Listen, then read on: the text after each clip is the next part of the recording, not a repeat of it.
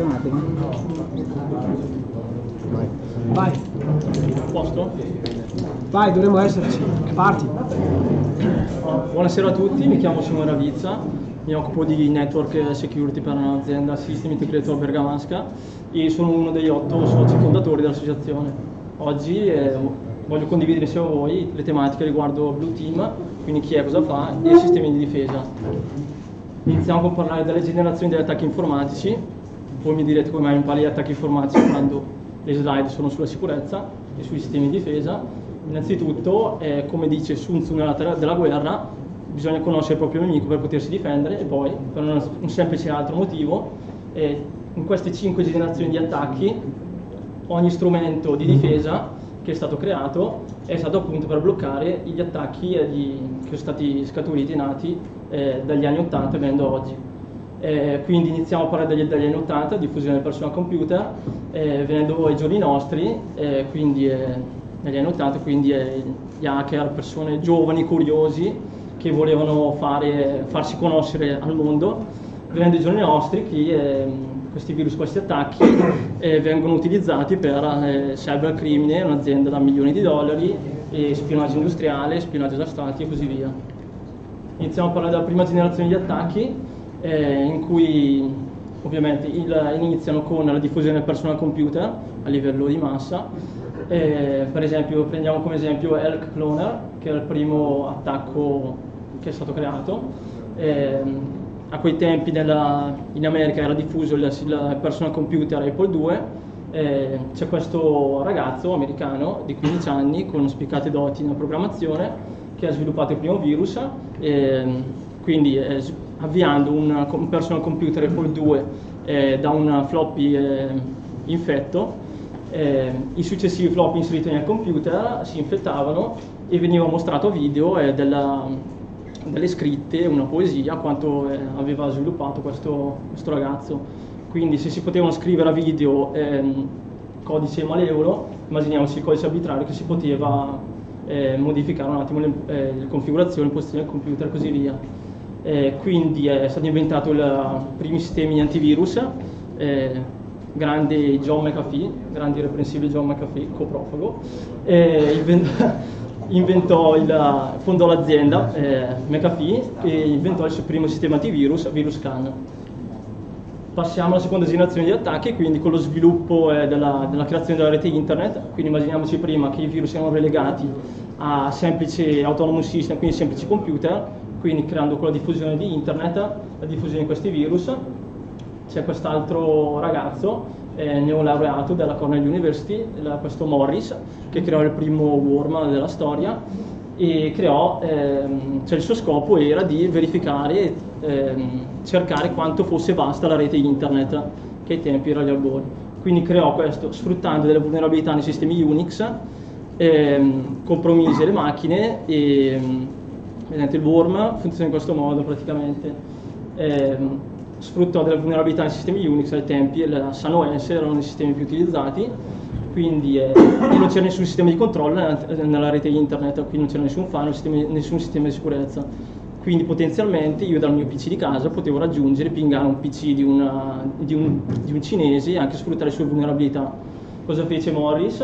Eh, mandò in giro della, questo, sviluppò questo worm, mandò in giro questo worm per la, per la rete internet, sfruttò la vulnerabilità del sistema Unix, per esempio del PC in Cina, e quindi una volta compromesso il PC, questo si diffondeva orizzontalmente all'interno della rete locale e all'interno di internet. Eh, l'unico problema è che questo, questo worm eh, Morris aveva implementato anche un sistema di controllo, quindi ovviamente se, la, se il worm era già installato sulla, sul PC non si reinstallava.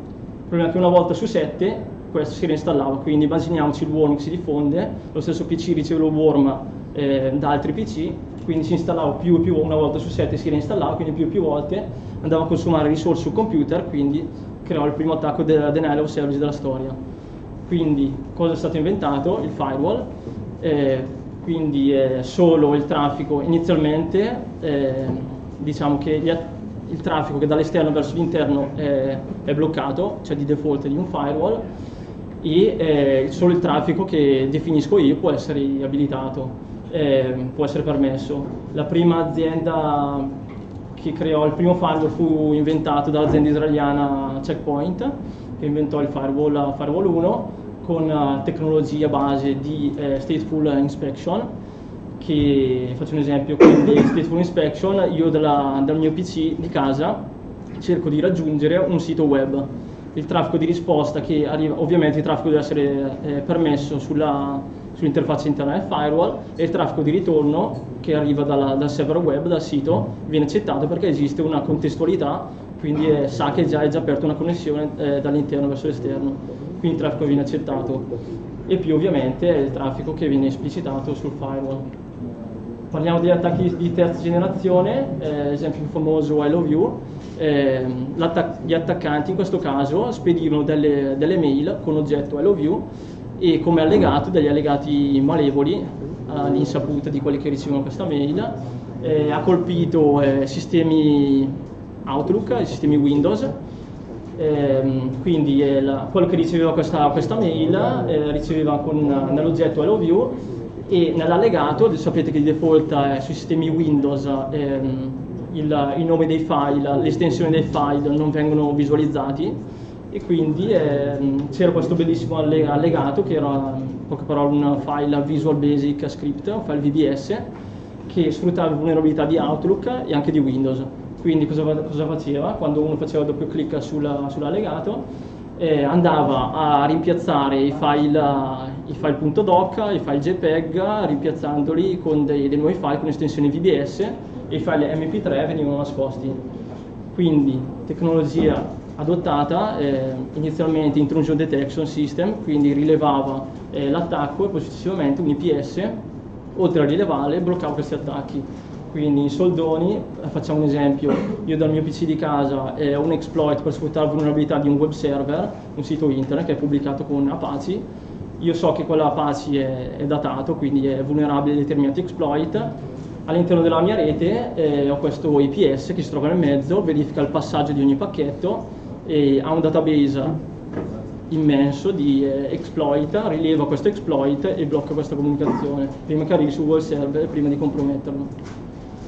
Arriviamo alla quarta generazione, Stuxnet, che a detta di molti è la, l'attacco meglio ingegnerizzato al mondo, eh, quindi si dice che sia stata fatta la collaborazione di NSA e servizi di intelligence israeliani eh, un attacco che eh, ha sfruttato come vettore una chiavetta USB, eh, quindi questa chiavetta USB è collegata ai sistemi di una centrale nucleare. Ah, faccio un attimo di assunto. Ehm, questo attacco era appunto per ehm, bloccare lo sviluppo eh, nucleare di Teheran, quindi dell'Iran. Quindi questo attacco è, è, sono stati utilizzati più exploit, più vulnerabilità eh, zero day quindi inizialmente tramite una connessione USB eh, connessa a un PC hanno sfruttato uno 0D a livello di Windows, poi eh, uno 0D a livello di sistema di gestione di PLC della centrale nucleare, più anche una vulnerabilità 0D del PLC stesso. Eh, tenete presente che uno 0D eh, nella, nella, black market costa un quarto di milione di dollari, quindi eh, questa è una delle possibili motivazioni per cui eh, chi può aver eseguito questo attacco può essere aziende, governi e così via. Eh, un altro esempio di attacco di quarta generazione è la, quando è stato attaccato sempre all'intorno del 2010 eh, di IndiaNS in cui una serie di telecamere compromesse all'interno di una botnet hanno generato un attacco DNS attacco non direi comunque una, hanno generato talmente tra, tanto traffico DNS che ha fatto crollare i sistemi DNS di, di DNS utilizzato da Netflix, Amazon, quindi c'è stata una, una caduta di questi siti. Eh, quindi tecnologie di difesa adottate, antibot e sandbox. Sandbox, per esempio, facciamo un classico esempio, io scarico un file da internet, eh, il file prima di essere scaricato sul mio PC viene mandato, emulato eh, in, uh, in, una, in, un altro sistema analogo al mio, per esempio un PC Windows 7, prima di essere scaricato sul mio PC di casa viene emulato su un sistema in sandbox, quindi eh, viene eseguito e detonato in questo ambiente, quindi prima di essere scaricato sul mio PC eh, viene, deve essere rilevato che se questo, questo file è infetto o meno. Sistema antibot, eh, quindi eh, lo implemento a livello di rete, installo questo prodotto all'interno della mia rete aziendale e verifica le comunicazioni da e per la mia rete, quindi identifica se ci sono delle comunicazioni command and control, per esempio se un mio PC è compromesso e esegue delle comunicazioni verso un server pubblico esterno, io posso sapere già, il mio sistema conosce che il determinato IP pubblico fa parte di una botnet, è malevole, blocca, è, già una bad reputation e blocca quel sito, quell'IP pubblico, comunicazione verso quell'IP pubblico lì. Andiamo alla quinta generazione, parliamo di WannaCry, quindi è dal 2017 venendo oggi, come è avvenuto l'attacco WannaCry, che è uno dei più grandi ransomware della storia. Ehm, parliamo di maggio 2017, primavera 2017, era esposto il protocollo eh, SMB eh, sul pubblico, ovvero port TCP 445. Eh, questo protocollo è utilizzato di solito all'interno delle reti locali per condividere file, cartelle, eh, stampanti e così via. Eh, diverse aziende avevano pubblicato questo servizio su internet, per esempio eh, il sistema sanitario del Regno Unito, ehm, la produzione della Renonis e così via e quindi gli attaccanti hanno sfruttato la vulnerabilità in questo, eh, in questo protocollo, eh, che peraltro eh, era già, già, uscito un aggiornamento, una patch di sistema tre mesi prima da Microsoft, che ovviamente queste aziende eh, non hanno aggiornato il sistema, quindi avevano la, questo protocollo, questo protocollo esposto su internet che è vulnerabile. Quindi l'attaccante ha sfruttato la vulnerabilità, ha preso il controllo del sistema e ha cifrato eh, tutti i file eh, sulla, sull'hard disk della, dei sistemi di destinazione. Come parlando ancora di generazione 5, quindi è l'ultima generazione da 2017 venendo oggi, parliamo di attacchi multivettoriali, quindi gli attacchi possono arrivare dal sistema di posta, ehm, che resta sempre il primo vettore di attacco, quindi la maggior parte degli attacchi arrivano dalla posta, però possono arrivare anche da, dal cloud, possono arrivare dal mobile, per esempio il mio portatile aziendale, cioè dal mio...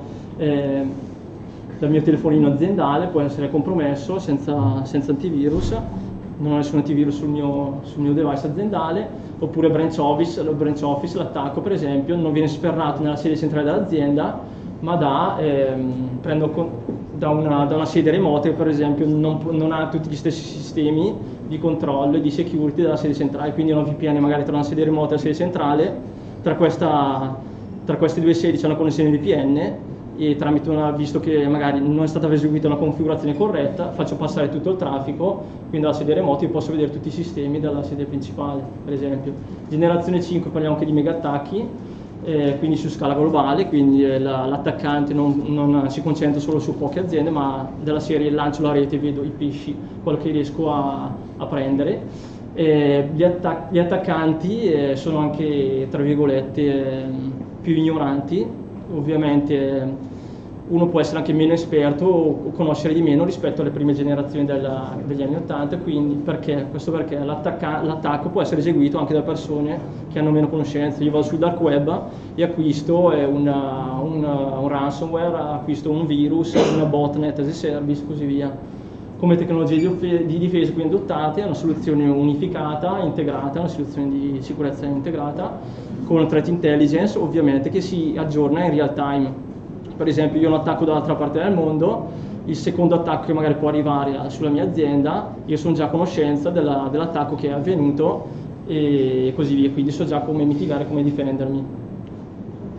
Allora, queste statistiche sono, sono state date da Checkpoint, grande azienda israeliana, uno dei leader mondiali in ambito security, che ha testato e intervistato 443 aziende quindi eh, la maggior parte delle aziende al giorno d'oggi utilizza solo antivirus, firewall e IPS e quasi nessuno o, o poche aziende eh, hanno sistemi antibot, sandbox o utilizzano strumenti per eh, verificare le minacce che arrivano da cloud oppure fuoriuscite di dati tramite cloud o hanno degli sistemi che controllano i sistemi mobile.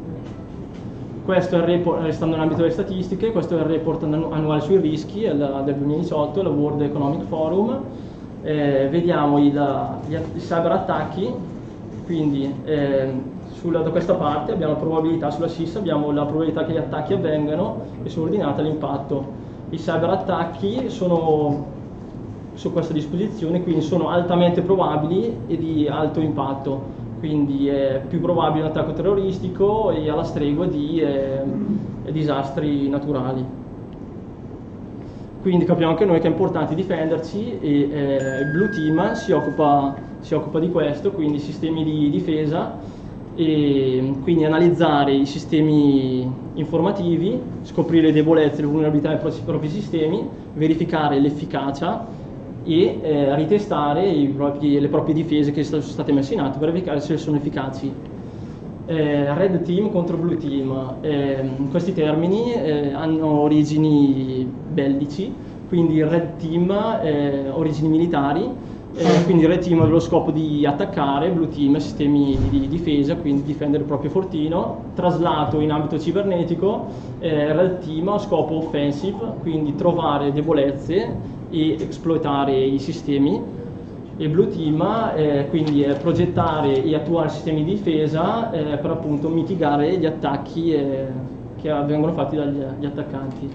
Al giorno d'oggi eh, sistemi di difesa ehm, si, bisognerebbe adottare vari sistemi su più layer, quindi lato sicurezza perimetrale, lato sistemi, eh, client e server e adottare anche dei processi di security.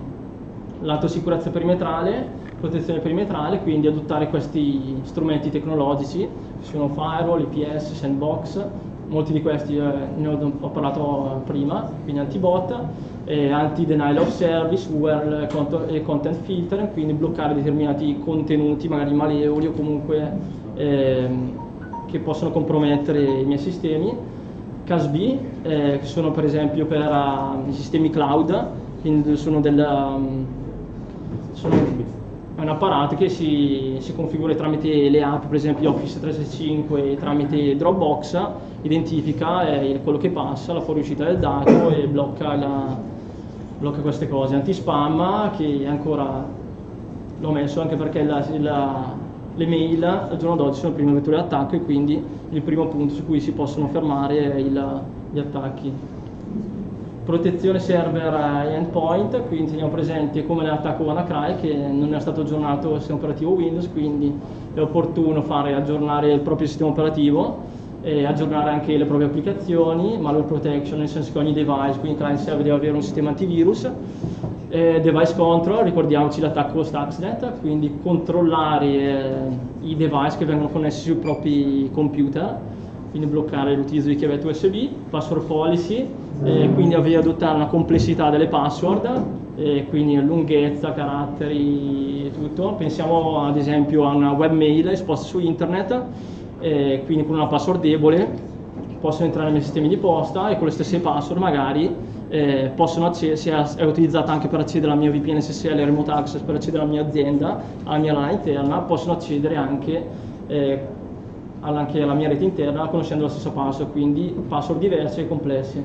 Device encryption, quindi per esempio per i portatili, ehm, per esempio è consigliato per i portatili perché magari sono, sono, fuori azienda, mi viene rubato il portatile, ovviamente se il PC viene acceso c'è la protezione della password, ma se tolgo l'hard disk tutti i dati sono in chiaro e posso leggere il contenuto dell'hard disk, quindi cifrare l'hard disk, quindi device encryption processi di security, quindi eh, monitoraggio proattivo, quindi NOC e SOC, NOC per verificare il, se il device è vivo, se le interfacce sono sature e il monitoraggio base della rete. SOC, ovvero Security Operation Center, quindi tutti i device della mia rete, switch, router, firewall, IPS, sistema di posta, devono mandare il log verso un mio sistema che è chiamato SIEM, quel sistema aggrega i log e identifica traffico malevolo.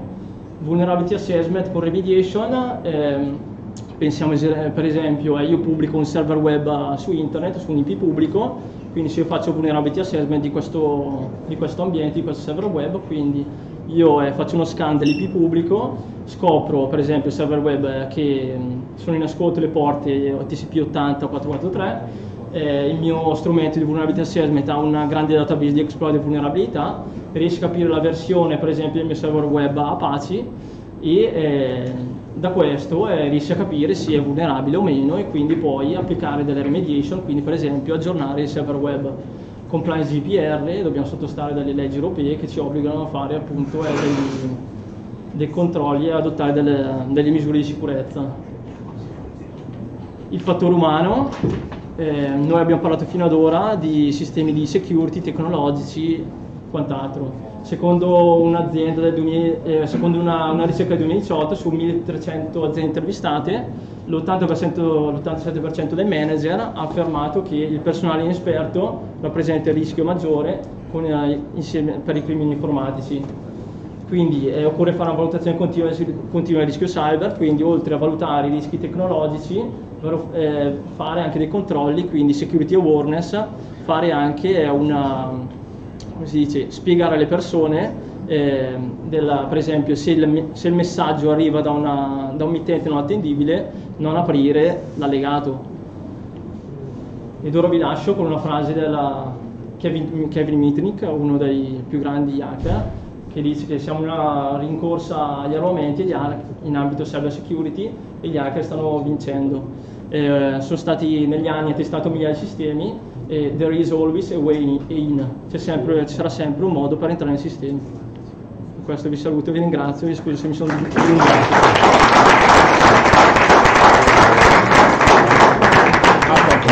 È il prossimo?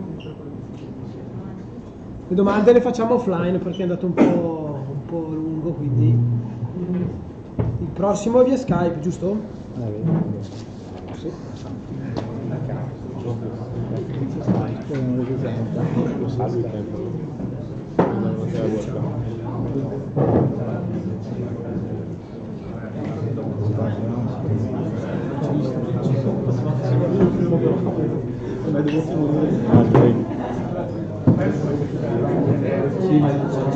Audio? Audio dovrebbe sentirsi. No, Perché? Dovrebbe sentirsi, prima lo sentivamo, però adesso non lo so. Dove si deve sentire? Direttamente nello stream. No, ma gli altri qua, le persone qua non si sente l'audio. In sala qua, le casse, facciamo. Poteva allora?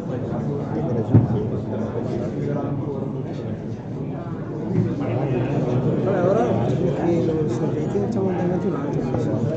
Chiami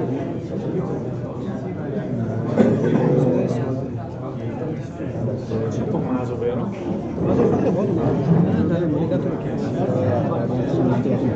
Facciamo prima il nostro. Faccio io.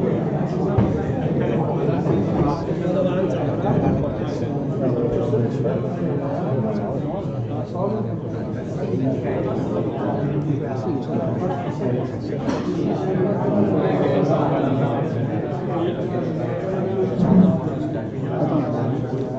Marco, c'è la X. Ah, scusa, grande, qua ci avete tutto. Quante robe. Un cronometro mi serve. Si tiene il tempo. Sì. Grazie. Ciao. Niente Skype, Skype è posticipato per dopo, perché c'è un problema tecnico, quindi riprende mano. Eh, È ciao. Io sono Marco, ehm, lavoro, lavoro per Accenture Security, mi occupo di Manager Security Services, sono socio fondatore del Bergen in the Middle, eh, ho diversi hobby che cozzano l'uno con l'altro. Vi parlerò di un'esperienza casalinga eh, con eh, un eh, sistema, sistema di allarme eh, di casa, diciamo l'allarme di mio cugino. Eh, nessun sistema di allarme è stato maltrattato per realizzare questa ricerca tranne quello di mio cugino e don't try this at home, o meglio non provate a casa dei vostri vicini perché potrebbe essere diciamo contro la legge. Allora, ehm, non voglio andare lungo su quella che è la storia, diciamo, della insicurezza nella domotica, ma in, in particolar modo nei sistemi, nei sistemi di allarme. Ehm, diciamo che è un tema che sicuramente esploderà sempre di più nei prossimi anni perché è convergenza fisicologica, perché gli allarmi di casa, così come quelli industriali, sono sempre più interconnessi. Ehm, si è iniziato con il filo, eh, questo è il caso del, del, del, del sistema che vi presenterò, eh, con wifi, zigbee, eh, z-wave, eccetera, eccetera, eh, tutto insieme diciamo che espo- aumenta esponenzialmente la superficie d'attacco. Qual è la vittima di, questa, di questi esperimenti? Un allarme INIM abbastanza diffuso in Italia perché l'azienda è italiana, è uno dei leader italiani su queste, su queste tecnologie, ehm, a cui mio cugino voleva attaccare la, diciamo, una scheda eh, per la gestione via, via rete LAN. Eh, la scheda nella fattispecie si chiama eh, Smart LAN SI, che è quella lì, eh, permette di, di fatto si, si, aggancia sulla scheda della, della, dell'allarme eh, in, eh, in, seriale e fa da interfaccia TCP/IP eh, per la parte di configurazione, diciamo proprio la configurazione che farebbe l'installatore la parte di eh, gestione tramite delle app oppure tramite i display che vendono loro direttamente che hanno la stessa interfaccia di quella schifezza qui che vedremo adesso. Um, vabbè, il disegno diciamo ad alto livello, um, vabbè, centrale, eh, router, eh, un router lì è wifi ma potrebbe essere, no, in realtà è cablato, eh, e poi eh, come si accede? Si può accedere o direttamente eh, chiaramente dalla rete locale oppure tramite esponendo il servizio su rete, su rete pubblica tramite il DNS puoi vedere questa parte qui. non si vede il presentatore. Non si vede qui no ma in streaming. Vabbè mi metto qua davanti in streaming. Allora eh, e, oppure attraverso il servizio, servizio in cloud. Eh, questo non l'abbiamo non l'ho analizzato e vabbè diciamo che fuori potrebbe essere un'evoluzione.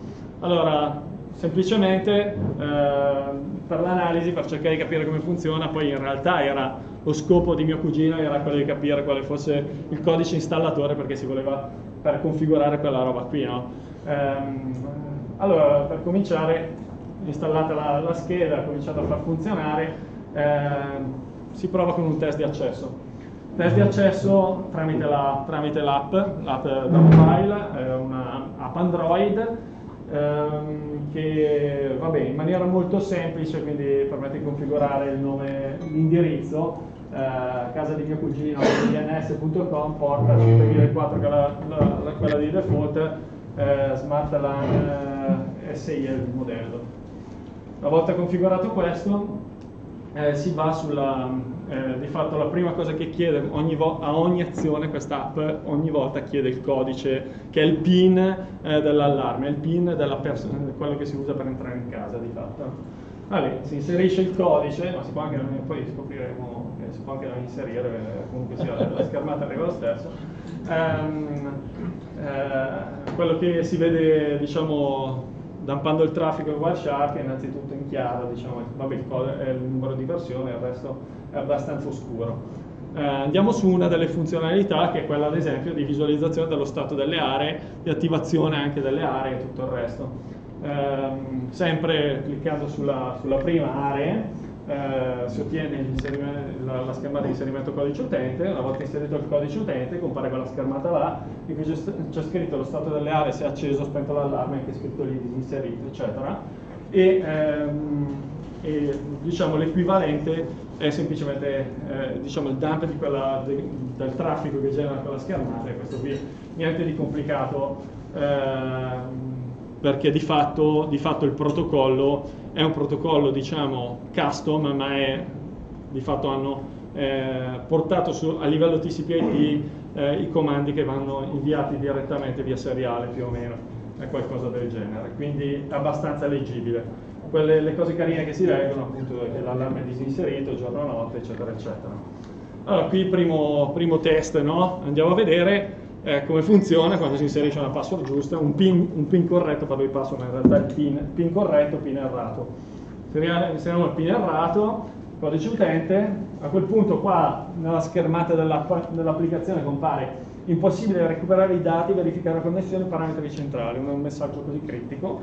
Eh, il dump però mi dà innanzitutto giorno, notte, l'area, eccetera. In questo caso non mi dice se è inserito o disinserito, però mi dà insomma, già le informazioni sulla configurazione dell'allarme, eh, cosa, cosa, un po' strana. Cosa ancora più strana è che poi insomma, uno sta lì, si scervella, cerca di capire ma dove cavolo l'ho mandata la password, no? Da una parte ho messo la password che era 654321, eh, dall'altra ho messo una password a caso, non mi ricordo, eh, dove cavolo è messa sta password? Uh, il diff del traffico mi mostra solo la differenza tra alcune richieste in più nel caso in cui la password sia corretta rispetto al caso in cui la password sia errata e questo è il caso in cui è la centrale che mi ha dato la password. Perché se, se con un po' più di attenzione se avessi guardato eh, praticamente il terzo pacchetto inviato dalla centrale è la password 654321 questo in qualsiasi caso eh, basta inserire questa richiesta che che è questo, eh, questo, questo esadecimale 0152 bla bla bla, alla fine eh, è stata la centrale a confessare la password, quindi ho sentito un po' Chuck Norris quando fa il debugging, no? Allora, ehm, la, cosa, vabbè, la cosa è anche visibile poi sempre nella, nella schermata del wildcard. Um, la stessa cosa è per il pin installatore, che era quello che cercava mio cugino. Uh, il pin installatore uh, fa la stessa cosa, quindi eh, c'è una chiamata diversa per avere il PIN installatore dalla centrale, eh, questa è l'applicazione che viene utilizzata per la configurazione, si settano tutti i parametri dell'allarme, eh, come deve suonare, eh, quali sono i numeri di telefono, in che modo, eccetera, eccetera. È carina, è fatta cioè, simpatica. Eh, peccato che anche in questo caso il PIN non è che viene inviato dall'applicazione alla centrale, il PIN viene inviato dalla centrale all'applicazione e l'applicazione dice ah no è sbagliato allora non ti faccio fare quello che mi hai chiesto di fare. C'è una, un, non so, è un sistema di autenticazione esotico diciamo. Eh, e qua vediamo infatti il pin installatore 99999 che era dentro lì tranquillamente visibile nel tutto il resto cose simpatiche allora, qui la prima idea, no? primo proof of concept, eh, fare, diciamo, cercare di mettere tutto insieme, tutti questi codici, perché tanto basta sapere quali sono le richieste da fare per avere tutte quelle informazioni, non c'è bisogno di autenticazione, eccetera, eccetera.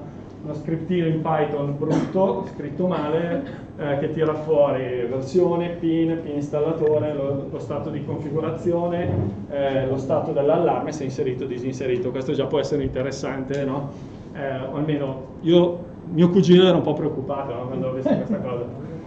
Uh, vabbè, uno dice però ce l'ho in casa, non è che sposto su internet, cioè mi devo bucare la rete di casa, poi trovare dove, dove sposta sta roba, eccetera, eccetera. Va bene. Peccato che gli amici di Inim eh, offrono due possibilità di controllare questa roba. Uno è esponendo direttamente il servizio il servizio fatto molto bene su internet, l'altro è via cloud, il cloud non l'abbiamo testato, loro so che il cloud è la modalità consigliata perché dicono è sicuro, però se l'hanno scritto gli stessi, non lo so. Eh, vabbè, eh, quindi cosa offrono anche gratuitamente, bellissimo servizio, di DNS che eh, tra l'altro si interfaccia con la centrale stessa, quindi la centrale fa da client in DNS con questo dominio che hanno loro, inimdns.biz, uno si registra, eh, casa di mio cugino appunto in dns.biz in automatico lui fa il sync su quelli mancanti o passati questi? Mancanti. Ah ok. Eh, questo fa il sync e quindi pubblica, aggiorna, aggiorna il, il, um, aggiorna il, uh, il DNS, quindi è sempre raggiungibile come casa di mio cugino in, in, in dns.biz. Ovviamente idea, eh, mi hai detto dove andare a cercare subdomain enumeration, quindi vuol dire eh, prendo, so che, so che bene o male lì dentro ci sono un po' di questi apparati che si chiameranno appunto in dns.biz eh, uso un toolettino che può essere subrouter ma può essere anche un tool scritto a mano al momento. L'unica roba che bisogna fare è prendere una word list buttarla in input e aggiungerci appunto in, in dns.biz eh, qualche, diciamo, un paio d'ore ha tirato fuori 42 potenziali target che avevano eh, appunto cognome.inimdns.biz oppure casa mia, casa.inimdns, eccetera, eccetera. Um, ok, proof of concept numero 2, eh, l'appetito viene mangiando, allora a quel punto eh, abbiamo visto come fa a rispondere l'apparato nel momento in cui, poi vedremo, c'è una feature che è l'autenticazione eh, è abbastanza anche quella barbona. Um, nel momento, cui, nel momento, in cui, viene interrogato con una certa stringa, l'apparato risponde con la versione. Allora, per semplificare la cosa e fare un giro così eh, sul mio apparato, o meglio su quello del mio cugino, eh, quello che, vabbè, eh, scritto un probe di nmap che fa, che fa questa, questa, verifica, restituisce la versione, magari un giorno metteranno in nmap. Um, poi l'altro proof of concept simpatico invece è quello sull'autenticazione. È una feature opzionale, l'autenticazione, di solito uno lo configura e deve entrare proprio in un, in, una, in un, menu per andare a attivare eventualmente questa autenticazione. Quello che si può fare è mettere una password eh, che di fatto viene eh, viene interrogata, non è interrogata, deve essere fornita come primo valore della connessione TCP. Three-way handshake, la prima roba che, for che, devo fornire nel momento in cui la password, l'autenticazione è attivata è la password in formato plain text, eh, al che posso mandare altri comandi, quello mi risponde, eccetera, eccetera. Se non mando l'autenticazione, eh, se non mando la stringa di autenticazione, eh, quello non risponde, o meglio fa un FINAC. Eh, vabbè, anche lì eh, chiaramente si parla di eh, autenticazione basata su una stringa, massimo 8 caratteri, eccetera, eccetera. Idea abbastanza banale, quella può essere quella di scrivere, di scrivere eh, uno scriptino che faccia un minimo, faccia un brute force. Anche qui i tempi poi per eseguire un brute force possono essere quelli che vogliamo. Teniamo in considerazione che questo sistema non manda nessun allarme ehm, non manda nessun allarme nel log degli allarmi giornalieri, eccetera, eccetera, nel momento in cui si fa qualcosa via, via LAN. Eh, se uno va alla tastiera, sbaglia le password, viene loggato. Se uno lo fa via LAN, non, viene loggato. Cosa simpatica. Altro, altra, diciamo, altra, strada percorribile è quella di analizzare l'app. No, qui abbiamo fatto il discorso al contrario, un po' un reverse del traffico che gira, eccetera, eccetera.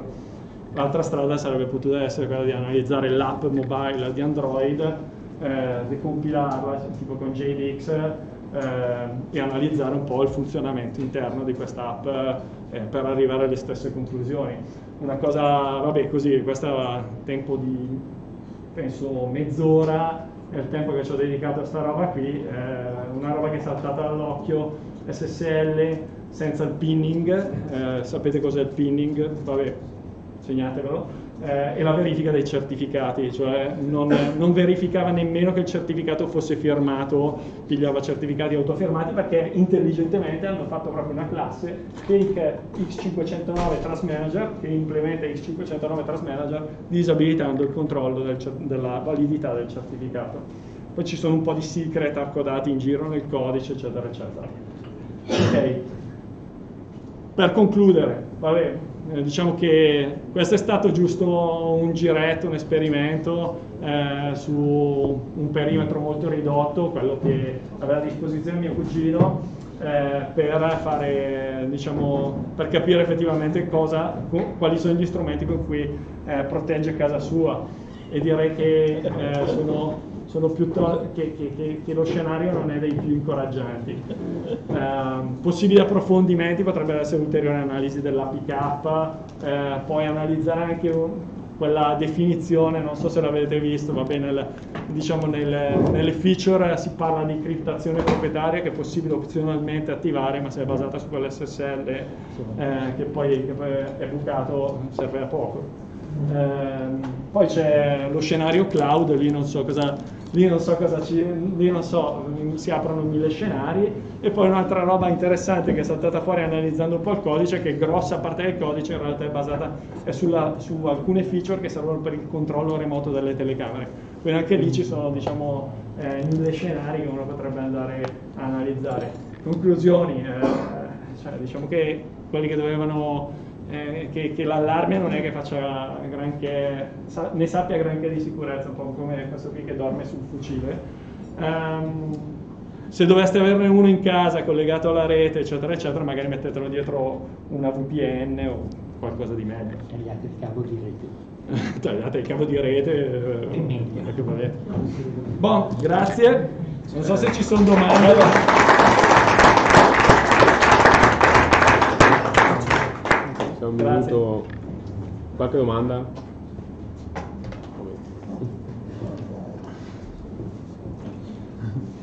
Domanda. Questo? È questo? Sì, stacca. Ok, dammi. Qua. Questo, questo. Probabilità di esplosione.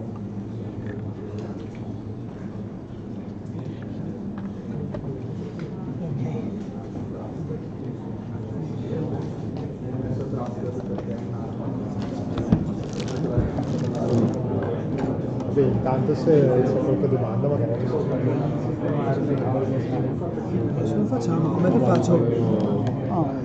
Sai te, domanda. Marco, Marco, magari vuoi rispondere a qualche domanda o dire Prego. qualcosa? Ah sì, beh, intanto, intanto che temporeggiamo. Eh, domande? Qualcuno di voi ha qualcosa di questo tipo? Qualche suo cugino o qualche all'altro di questo tipo a casa? Tra poco sì. di marca General Electric, quindi non prettamente italiano, e funziona allo stesso modo. Trasformare i comandi di seriale e su, su per poi eh, implementare le applicazioni che ogni utente finale vuole perché vuole comandare il proprio allarme sul proprio cellulare. No, è quello il problema. E le nuove generazioni di, di allarmi invece cercano di andare su eh, su processori magari un po' più potenti perché poi alla fine questi scatolotti non possono fare granché gestire dei comandi di seriale piuttosto che eh, gestire la nona mossa di un sensore di filo no? Eh, quindi Mi senti? sono stupidi ma sono allo stesso tempo Ok. vulnerabili rispetto a Ok. implementazioni di un Linux, RTOS Ok, o ascolta, 15 o. Kernel che, che avrà comunque altri problemi di sicurezza che sono Solo molto più e comuni. facciamo Quindi per assoluto è un, un modo, eh, Ok. non è sicuro. Eh, bisogna farsi il reverso per capire dove, eh, come entrare, no? Mentre invece i nuovi sistemi di, di allarme non saranno sicuri perché sono basati su sistemi operativi eh, che utilizzano tutti, no? Quindi avranno le classiche vulnerabilità che troviamo in giro, il vendor non aggiornerà il sistema operativo e, e saranno tutti imbrancati su Chiaro? Sì, diciamo che la cosa preoccupante facendo questa analisi è che eh, noi ce ne accorgiamo facendo analisi di questo tipo perché chiaramente abbiamo un'ottica di smanettone di uno che più o meno sa come, come rompere le cose, no? Eh, però per anni hanno funzionato così dal punto di vista analogico, nel senso che vorrei capire poi se qualcuno fosse in grado di mettere mano, ad esempio, inserendo una centralina in più fake oppure inserendo eh, delle componenti in mezzo dal punto di vista elettronico, eh, fosse in grado di sniffare le stesse informazioni, probabilmente gli stessi attacchi che si fanno sulla parte cablata, sulla parte, sulla parte Ethernet si possono fare sulla parte cablata. Eh, questa è una mia, una, mia supposizione.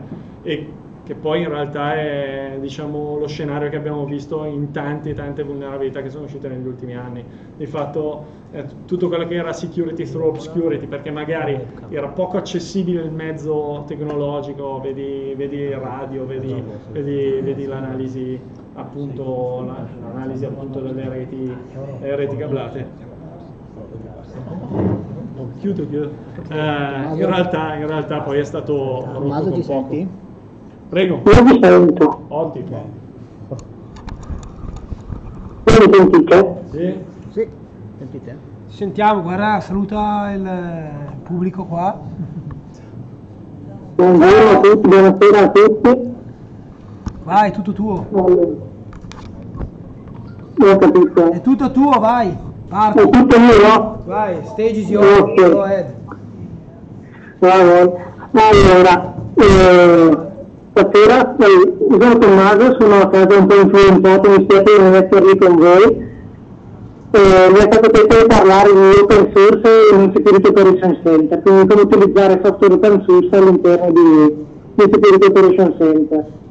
Eh, che, una delle cose che si fa in, in Security Operation Center è, è appunto come accennava prima anche Simone eh, di andare a analizzare ehm, log di sistema e di rete per verificare la presenza di, eh, di accessi anomali, accessi non, eh, non voluti.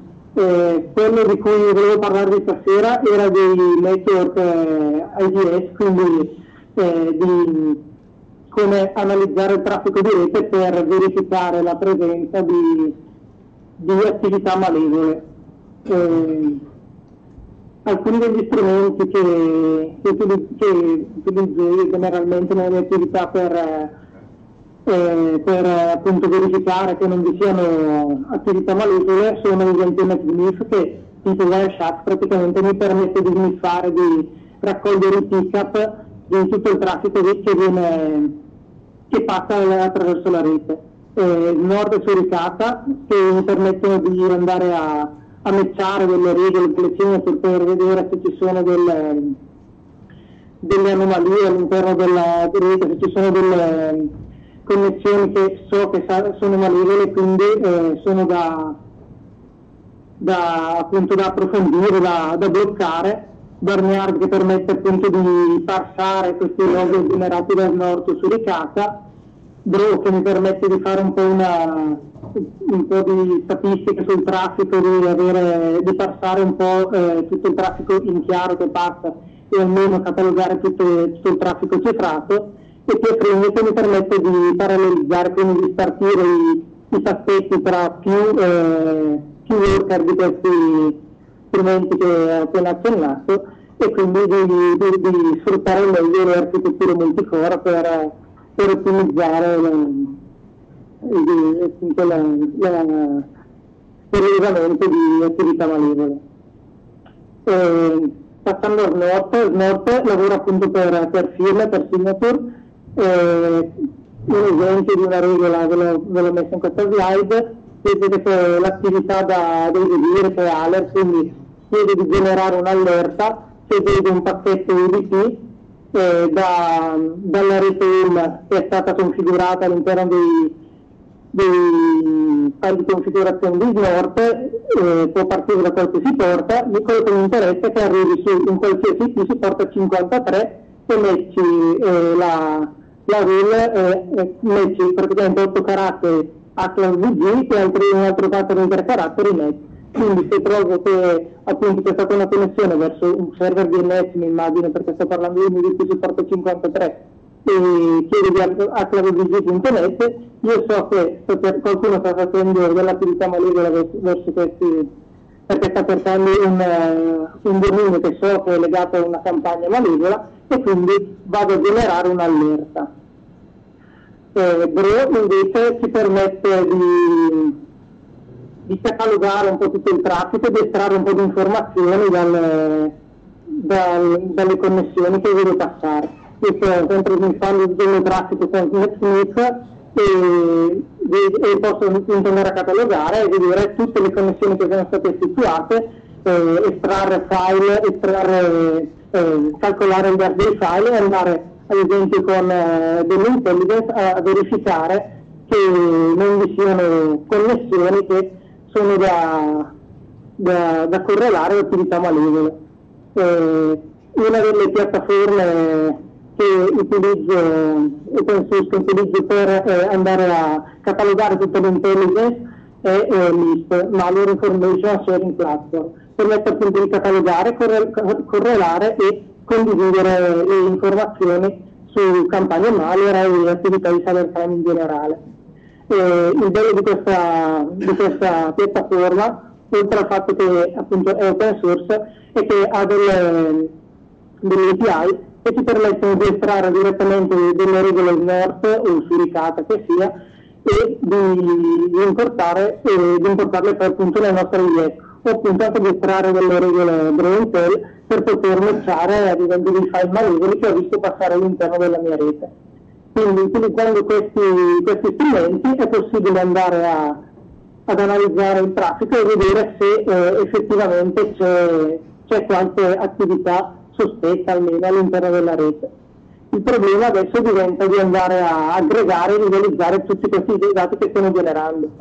Eh, una delle, delle suite che sono più utilizzate in questo campo, open source, è Elasticstack. Elasticstack si compone principalmente di tre componenti, che sono Elasticsearch, Logstash e Kibana. stessi permette appunto di andare a passare tutti i log che abbiamo prodotto. Noi con, eh, con North e Grow abbiamo generato dei log a partire dalle connessioni di rete. Questi log eh, sono poi appunto passati da Logstash secondo le regole di mapping che vengono impostate, vengono indicizzati da Elasticsearch e poi possiamo ricercarli in modo, modo molto semplice sfruttando Kibana.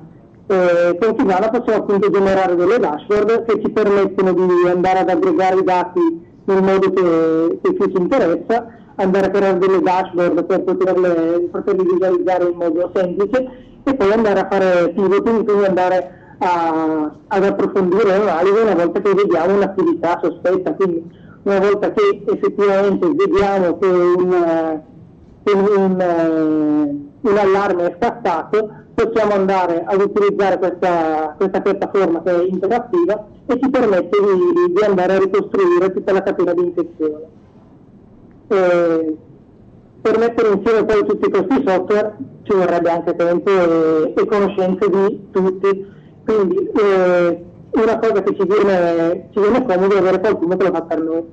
Eh, io sono pigro e sono abituato a cercare se qualcuno ha già fatto. In questo caso abbiamo che i nostri amici di Security and Solution hanno creato un eh, sistema operativo, diciamo che hanno modificato un Ubuntu inserendo tutti i pacchetti e tutti gli installer per creare in modo automatico e, e veramente banale un, un IDS a costo zero.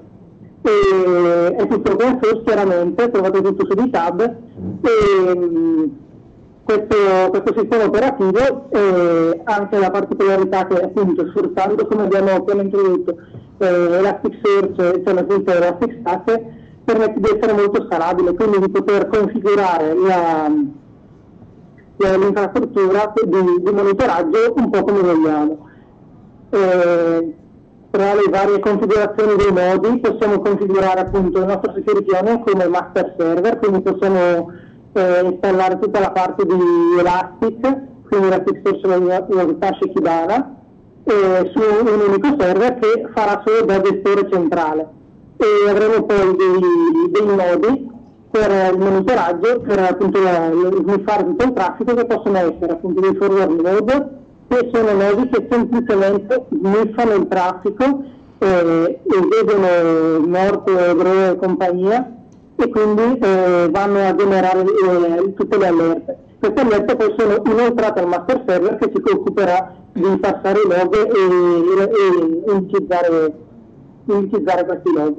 Un'altra possibilità invece è quella di non delegare al master server il, il parsing dell'indicizzazione, quindi creare dei mini node, quindi delle sende che sono come quella appena descritta, ma con in più anche la fixation log stash appunto per eh, quindi sperare sostanzialmente i log eh, in locale sulla sonda, parsarli e indicizzarli direttamente lì. In questo modo anche il, il carico di lavoro per eh, la ricerca dei, dei, log e quindi per l'aggregazione una volta che utilizziamo Kibana è delegata alla sonda. Quindi in questo caso stiamo, eh, stiamo caricando di più la sonda rispetto al caso del forward node.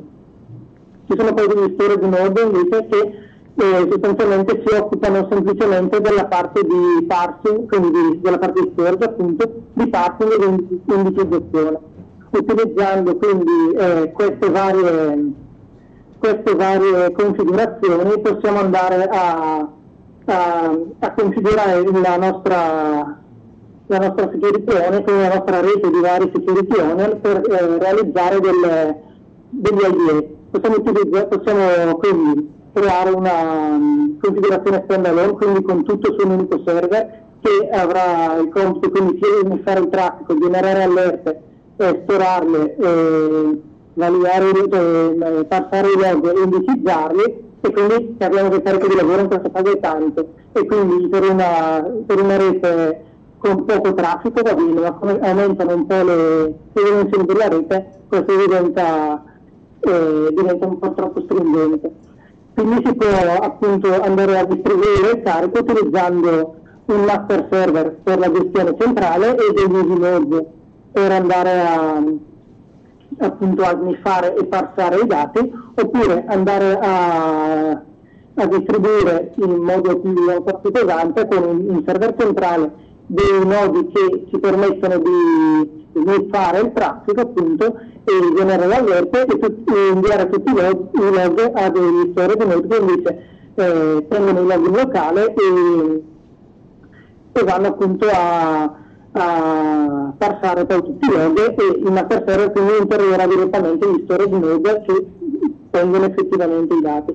In questo modo il carico è ben distribuito su più macchine e quindi eh, diciamo che riusciamo a risolvere un po' i problemi dovuti al, all'alto throughput hardware per, dovuto appunto alle, alle, alle, condizioni di traffico che possono essere appunto più, più pesanti. Niente, semplicemente io da finito, quindi se avete domande eh, sono qui in collegamento telefonico, se no passate pure al prossimo intervento.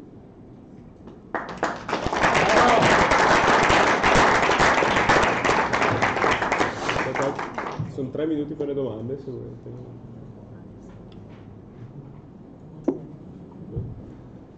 Niente, nessuna domanda. Ti... Grazie. Eh.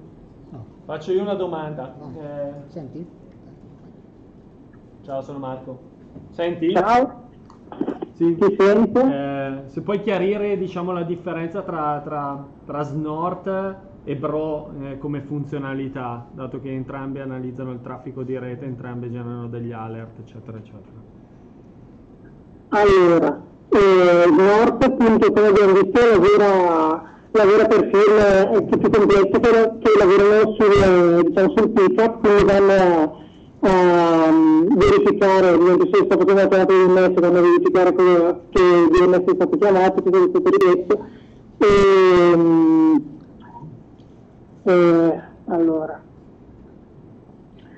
diciamo che... ehm.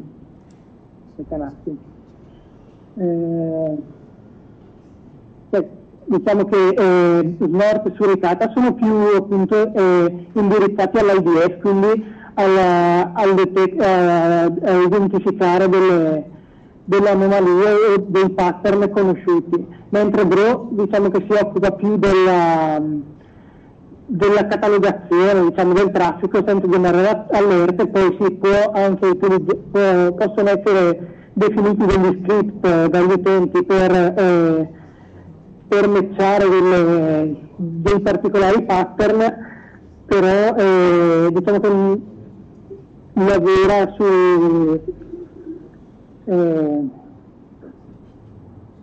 cioè, se ne fa neanche bene spiegarlo.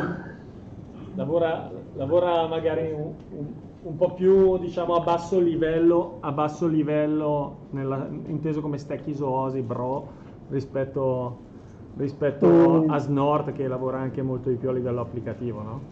Esatto, sì, esatto. Un po' un po' questo. Vabbè. Eh, chi è il prossimo? Grazie Tommaso. Grazie. Tommaso. Grazie a tutti, buona serata. Ciao, ciao. Bravo.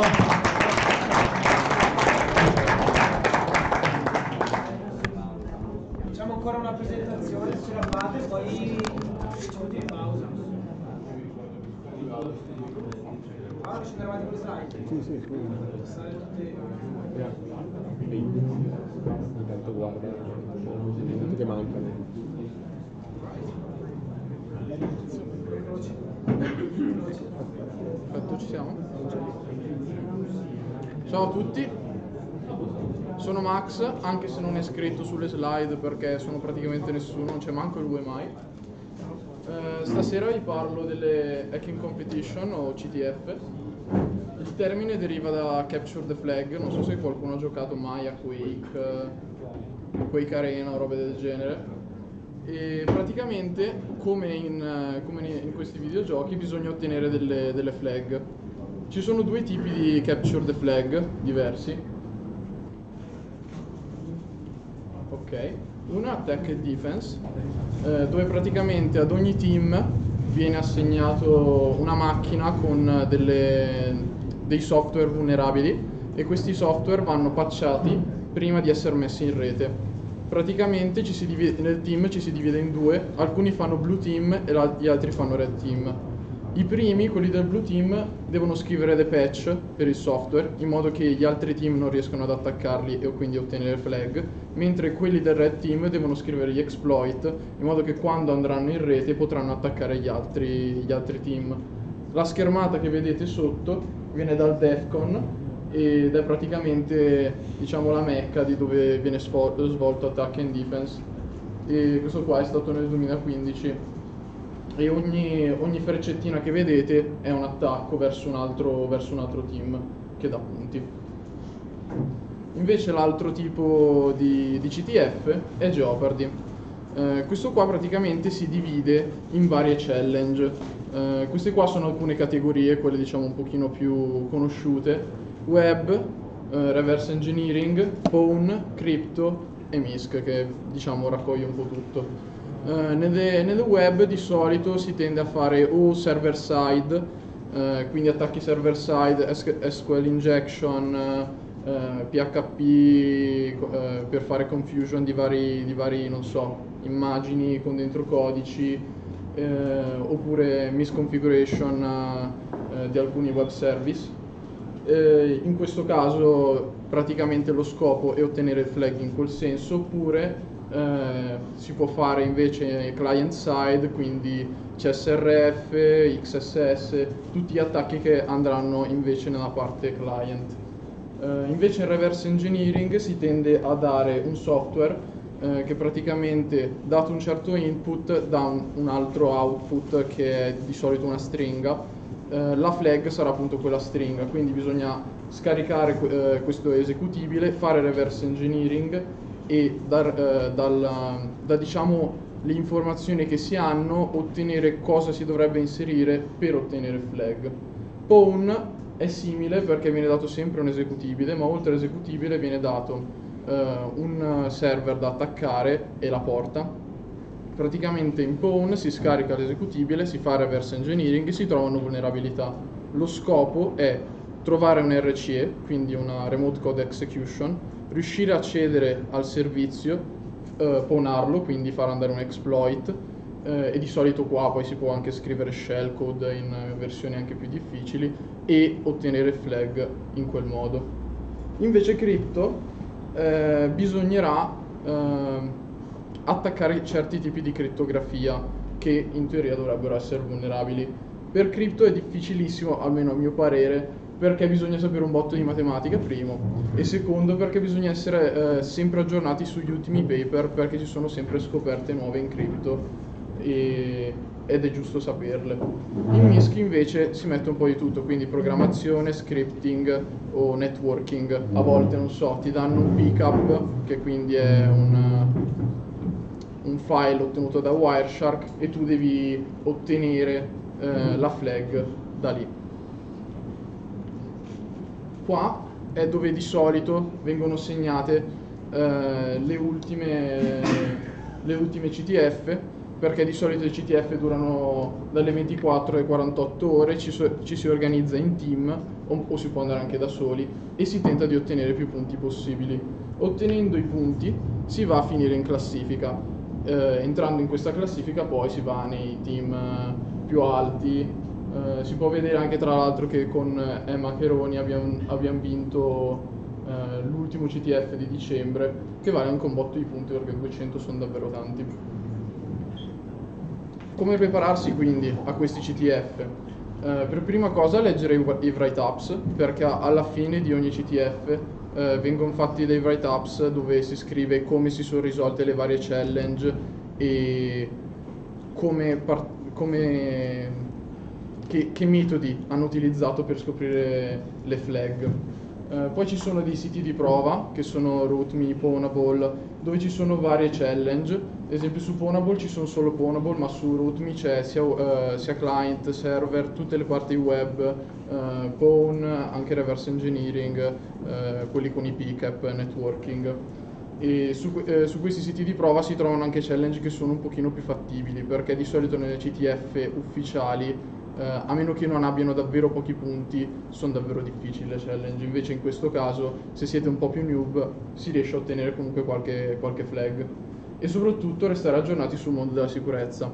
Questo perché nei, nelle ultime CTF, quelle più, con più punti, puntano sempre a mettere cose di attualità. Esempio c'è stata una CTF in Cina pochi mesi fa e avevano messo blockchain che comunque è andata forte tutto il, 2018, eh, tutto il 2018 quindi eh, c'era mi pare un exploit da fare su Ethereum.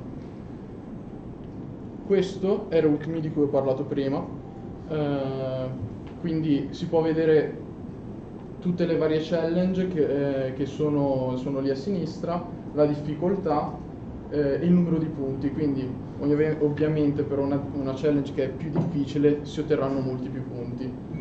E praticamente una challenge è composta da tre parti principalmente, queste qua sono le web server, quindi si ha il nome, che è quello a sinistra, la descrizione, che è quello che bisogna fare, che bisognerebbe entrare dentro, ma nelle slide non c'è, quindi eh, il nome, la descrizione e poi eh, direttamente come accedere al servizio cosa si ottiene da fare CTF? A parte che, non l'ho scritto, ma a volte ci sono dei, eh, dei premi in soldi o comunque in altri, in altri modi. Eh, questo qua l'ho scritto principalmente per la gente che studia in università come me, eh, che quindi non ha, non ha ancora lavorato. Per prima cosa imparare il team working, quindi come lavorare insieme verso un obiettivo, eh, che è ottenere dei flag. Ci sono persone che sanno più di crypto, ci sono persone che sanno più di pawn, eh, quindi organizzarsi in questo senso per riuscire a ottenere le, eh, le, le flag è molto importante per riuscire a, a, ad andare in, in, vantaggio rispetto agli altri team e come convertire le, le, le conoscenze in competenze perché spesso in, in, ambito accademico si hanno tantissime conoscenze ma pochissime competenze quindi si sa in, a livello teorico come funziona tutto però a livello pratico non si è mai fatto nulla, quindi una persona sa come funziona perfettamente un XSS, come, come eh, fare filter evasion, ma non l'ha mai applicato. E quindi quando arriva il momento di fare un pen testing o di, fare, eh, di cercare bug sulle proprie applicazioni, sempre scappa qualcosa. E soprattutto è divertentissimo. Fare CTF è molto divertente, eh, soprattutto per me, perché ne, ne faccio abbastanza, eh, non ho ancora fatto CTF a punti, però testare le proprie conoscenze è davvero importante secondo me. E basta, finisce qua. Se avete domande...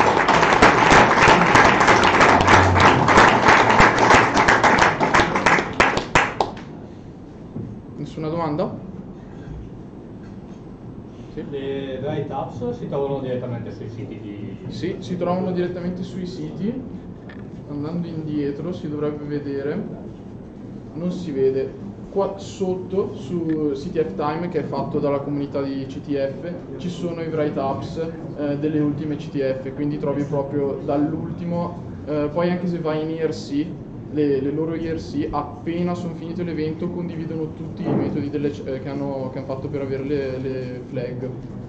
E appunto se vai sul sito CTF Time trovi tutto anche nell'archivio trovi anche quelli vecchi di Bright Apps.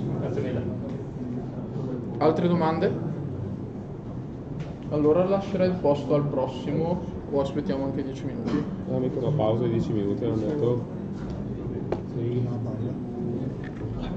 Siete stanchi andiamo avanti? Questa è bella...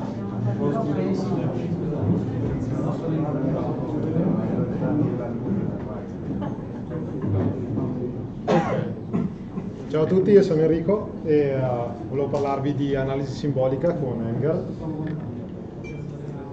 Io sto facendo attualmente il dottorato all'Università di Bergamo, uh, sono anch'io tra i soci fondatori uh, dell'ACLAB e faccio parte anche di altre organizzazioni, in genere mi occupo di access control ma recentemente mi sono occupato anche di mobile security e questo mi ha dato modo di, di addentrarmi in strumenti tipo, tipo Enger. Allora, vedremo un attimo un refresh su quello che sono le tecniche di uh, binary analysis classiche, una slide. Come funziona l'analisi simbolo simbolica, come funziona Anger, qualcuno conosce Anger, alzate di mano, due. ehm, utilizzo base e altre informazioni tipo dove scaricare eh, il- l'eseguibile e così via. Allora, per tecniche di, uh, di binary analysis abbiamo storicamente, cioè, tutti conosciamo probabilmente quello, l'analisi statica, quindi si prende un bel eseguibile. Eh, Analisi binaria vuol dire mi viene dato un eseguibile, devo scoprire fu- come funziona e magari voglio raggiungere alcune funzionalità che sono protette da password o qualcosa del genere. Un po' come diceva, diceva Max prima per uh, reverse engineer o, o pawning. Ehm, ovviamente posso fare object dump, quindi posso, posso ricavare il- l'assembly da- dall'eseguibile, posso usare AIDA per, per vederlo un po' meglio, per usare qualche, qualche decompilatore e così via. Come analisi dinamica invece GDB and Friends, quindi PEDA, tutti, tutti i vari eh, tool che si, si basano su GDB, GDB è un debugger, quindi oltre a vedere direttamente l'assembly mi permette anche di steppare all'interno del, del mio eseguibile e vedere come le variabili cambiano, registri, memoria e così via. E, eh, e Radar 2 se qualcuno riesce a, a utilizzarlo, perché è parecchio complicato. Vabbè, dopo un po' ci si abitua però. Ehm, ok, tutto questo ha dei limiti, nel senso che fin quando dovete magari riversare qualcosa di eh, molto easy, anche parlando proprio di CTF, qualche crack me easy, ok, però quando qualcuno si impegna per non farvi vedere cosa sta succedendo, vi trovate magari situazioni un po' più complicate, tipo del genere, o tipo del genere quando qualcuno usa un offuscatore, questo è fatto da LLVM Offuscator, che appunto serve per impedire a qualcuno di fare, di fare un'analisi fino a robe del genere, cioè ok che, che potete vedere l'assembly, però se volete arrivare a un certo punto di questo codice boh, dovete, dovete anche un po' capire sia con analisi statica che con analisi dinamica, è un po' difficile. Per questo nasce l'analisi simbolica, qua ci sono quattro slide fatte, cioè rubate da qualsiasi presentazione su Enger che sia mai stata fatta. L'analisi simbolica come funziona? Se, eh, tiene degli stati di, eh, del programma, è quello che ha la memoria, quelli che sono i registri, le variabili del programma, e ogni volta che trova una, una condizione genera due stati in modo da, eh, da aggiungere ai constraint de- del primo strato, il, del primo stato, il, um, il ramo vero, quindi ad esempio lì c'era, viene presa una variabile x, viene verificato se x è maggiore o uguale a 10 e in questo caso si genera un altro stato che dice x deve essere maggiore o uguale a 10 per entrare in quel ramo, oppure se ne genera un altro che dice se x è minore di 10 allora sono nell'altro. Si va, avanti, si va avanti così fino a generare tutti questi stati e io ovviamente sono interessato a entrare nella funzione uwin, giusto? E, eh, e in base a questo posso andare a concretizzare delle variabili, ossia prendo lo stato eh, relativo alla linea di codice che volevo andare a eseguire, lì c'è codice e pseudocodice, ovviamente voi avrete un assembly, un esempio. E vado a concretizzare delle variabili, ad esempio qua ho due, ho due constraint, uno dice x maggiore o uguale a 10, l'altro dice x minore di 100, x uguale a 99, mi fa entrare all'interno del- delle righe che stampano poi uwin. Tutto chiaro fino, fino a qua?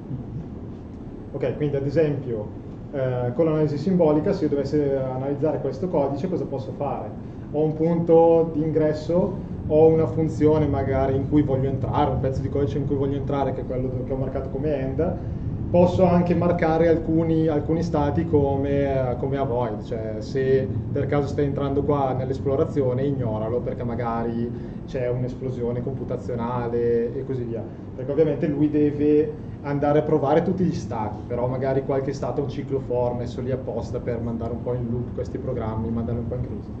Quindi posso dirgli skippa queste parti qua perché sono sicuro che non, non mi interessano e trova una strada che collega lo start con l'end. Ok.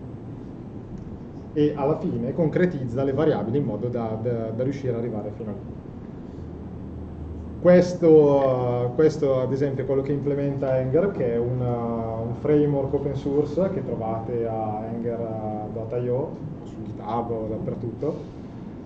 È un framework per fare binary analysis scritto in Python e combina appunto analisi statica e analisi dinamica simbolica. Loro lo chiamano concolic analysis, che è un misto tra concrete e symbolic, perché praticamente fanno sia analisi simbolica e poi continuano a eseguire il programma o una versione diciamo interpretata del programma in modo che anche se il programma è offuscato, è criptato, qualsiasi cosa, voi riuscite comunque a, a vedere i vari stati.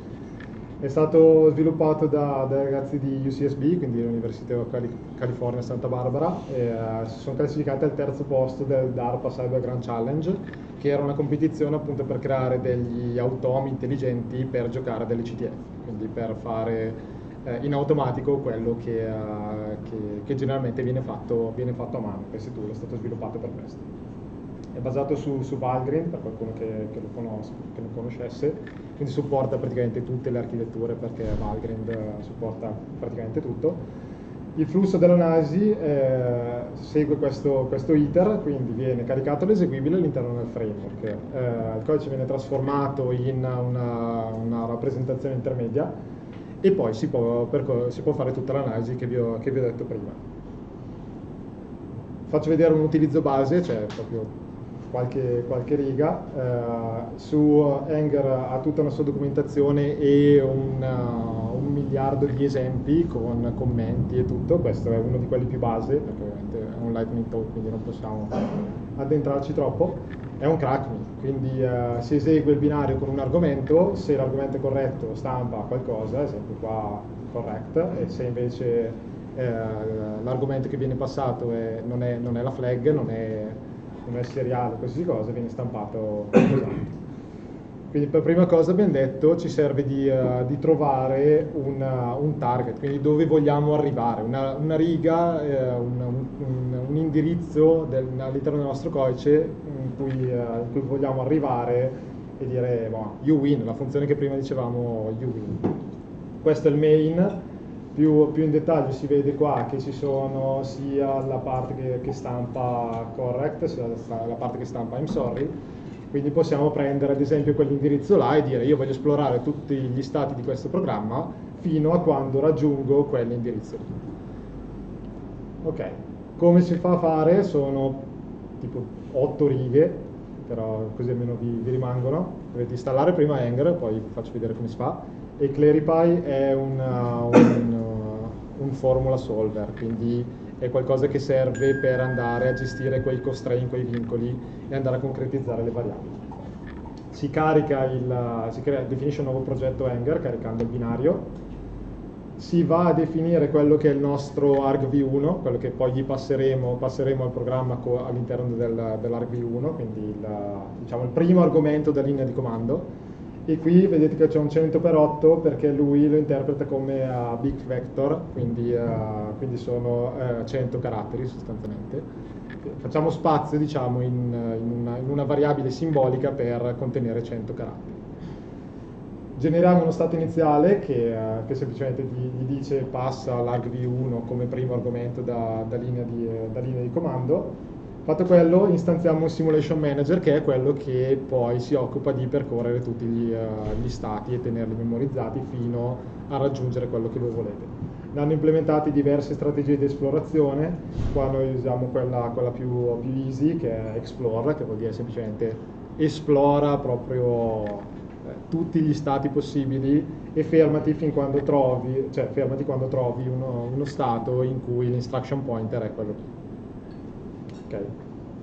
Quando l'ha trovato prendiamo il primo di questi stati, potrebbe essercene di più perché magari ci si arriva da, da diverse parti a quella funzione, prendiamo il primo e chiediamo al nostro, al nostro, formula solver di generare la stringa per argv1, cioè argv1 era quella variabile simbolica e, uh, e, gli diciamo vogliamo tirare fuori una stringa che ci permette di arrivare lì, come prima quando avevamo la nostra variabile x, abbiamo detto, avevamo come constraint che doveva essere minore di 100 e maggiore o uguale a 10, qua gli abbiamo detto tieni tutti le, uh, cioè fai tutti gli if, fai tutti gli stati, aggiungi i tuoi constraint.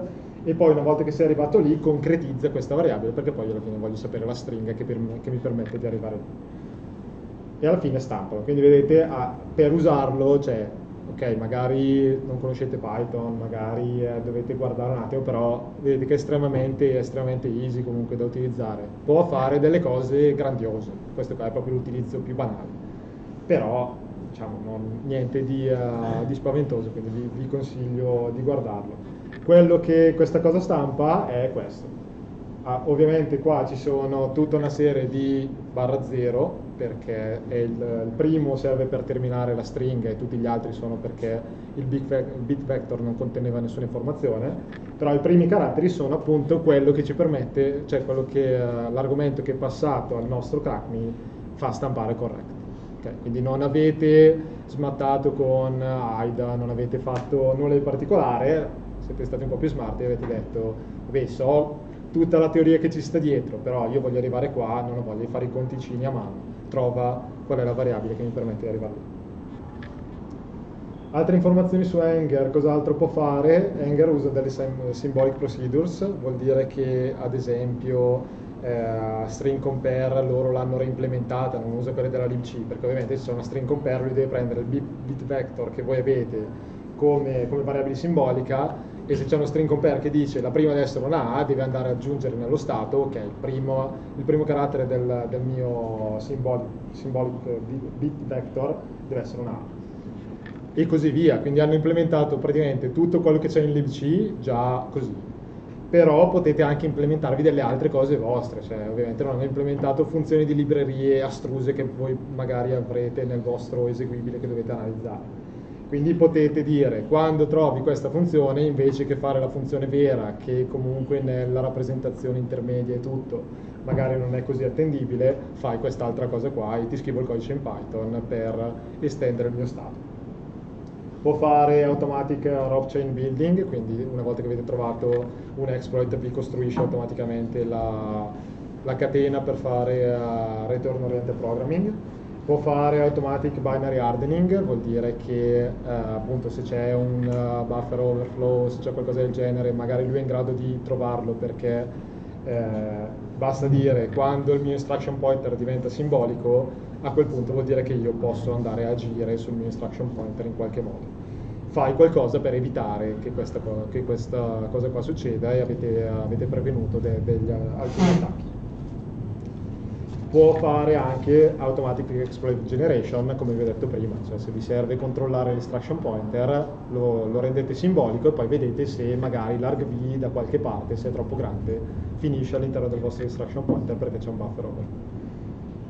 Ovviamente l'hanno implementato per le loro cose della Cyber Grand Challenge e poco altro perché è un, un, un problema teorico abbastanza, abbastanza massiccio come si fa a installare? Si, eh, è una roba in Python, quindi potete installarlo via, via pip, vi fate il vostro, vostro virtualenv e poi fate pip install anger, scarica l'internet e lo compila, però fa niente, ci mette, ci mette un attimo.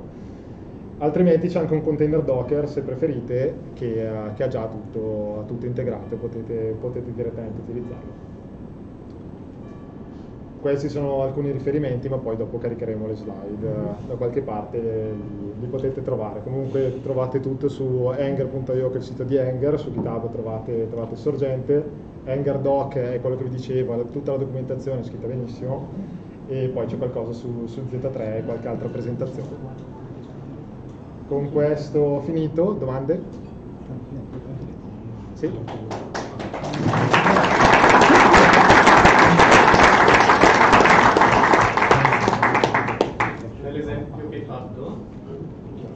Risolvere, poi lo usavi per eh, concretizzare la, sì. la, soluzione, ma immagino che Explorer anche usa un solver, è un solver interno sì, sì, sì, o si interfaccia a qualcosa? Allora, quel ClariPy è una, una sorta di loro wrapper sul Z3 quindi eh, sì, eh, lui usa un solver per andare, cioè ogni volta che fa uno step, se c'è un, uh, se c'è un if praticamente va a, aggiunge, va a, creare due stati e va ad aggiungere ai constraint la, la, parte di vero e la parte di falso.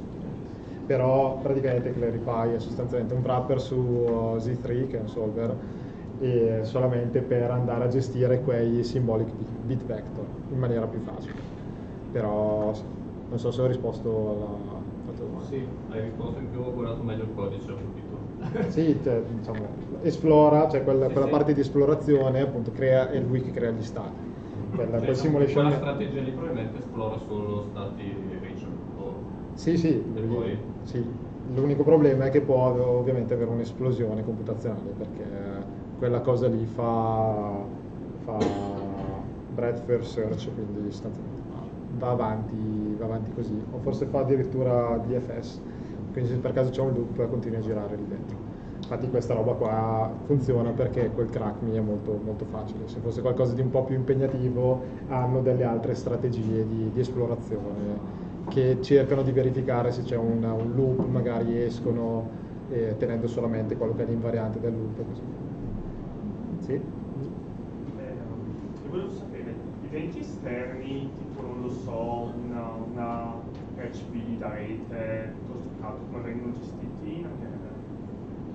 Di, mm, cioè se lui è in attesa su una porta Sì, e così via.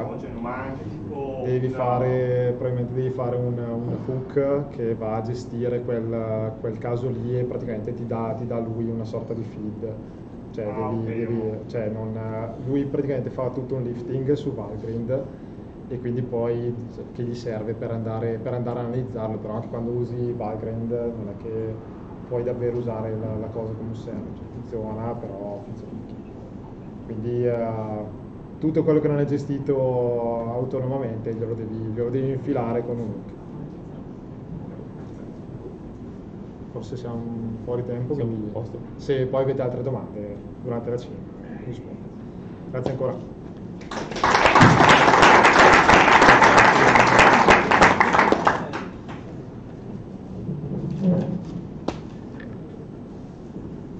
Eh, ciao a tutti, sono Paolo Perotti, sono un progettista elettrico e anche elettronico e torniamo su qualcosa di pratico.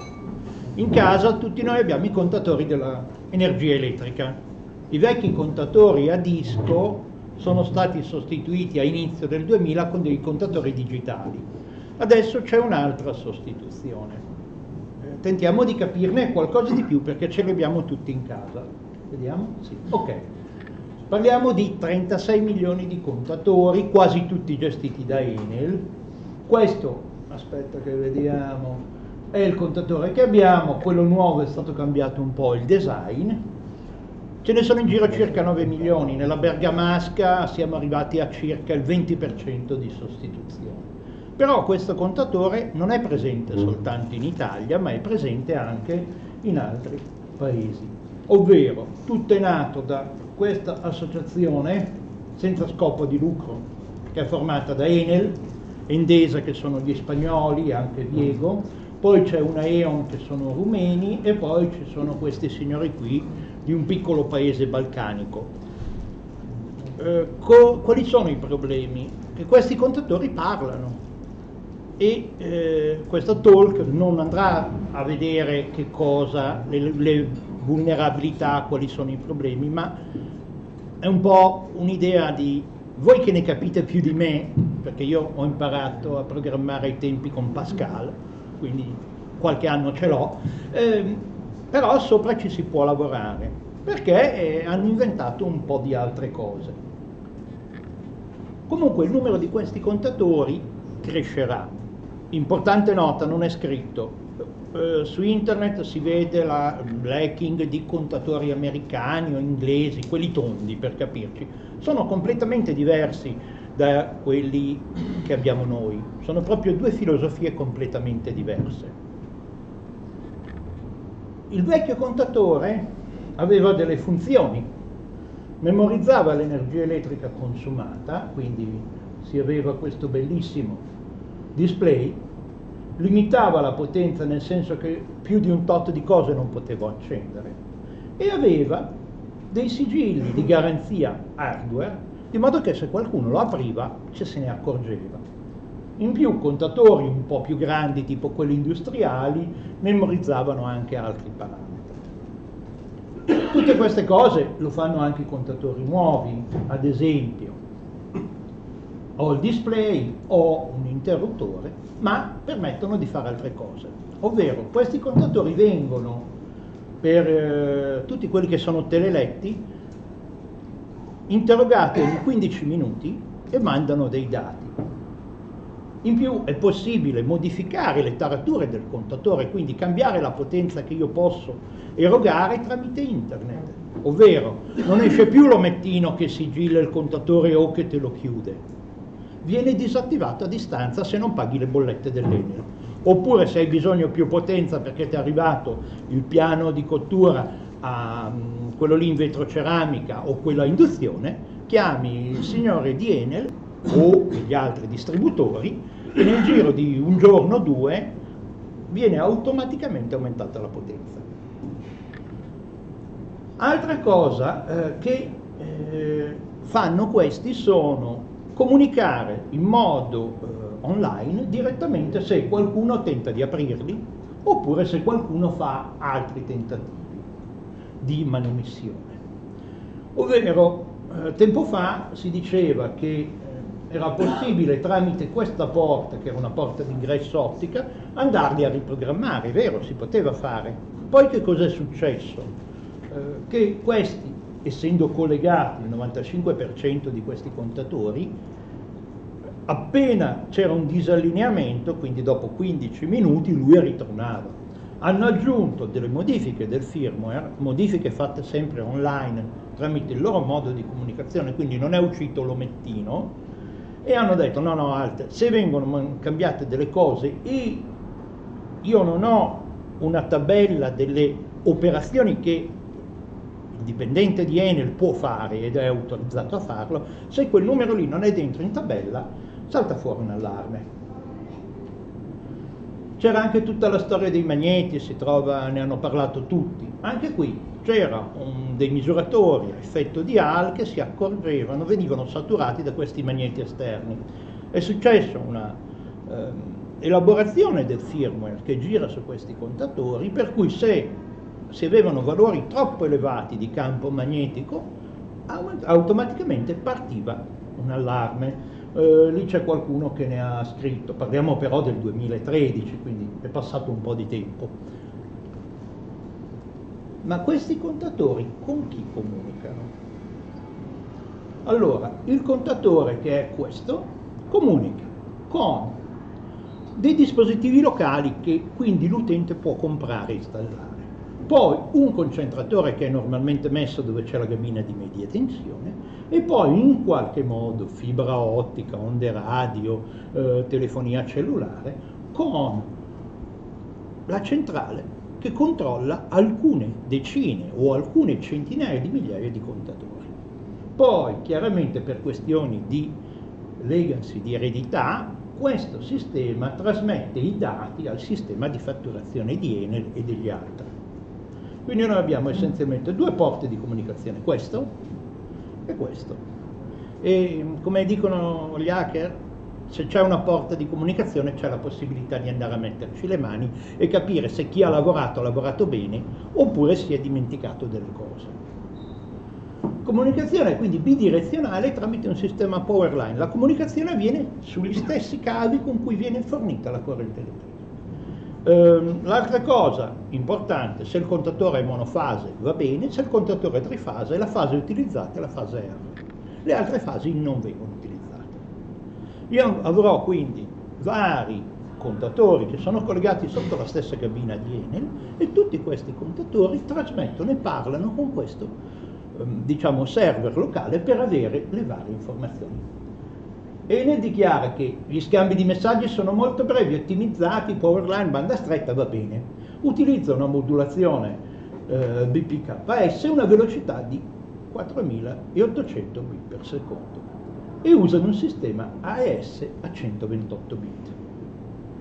Eh, già mm, sappiamo qualcosa di questo. In più, loro dicono che eh, questa è quasi una rete eh, di tipo mesh, quindi se un contatore non riesce ad andare in un certo posto, in realtà eh, e non riescono a sentirsi, in realtà alcuni messaggi girano attraverso altri contatori che fanno da repeater.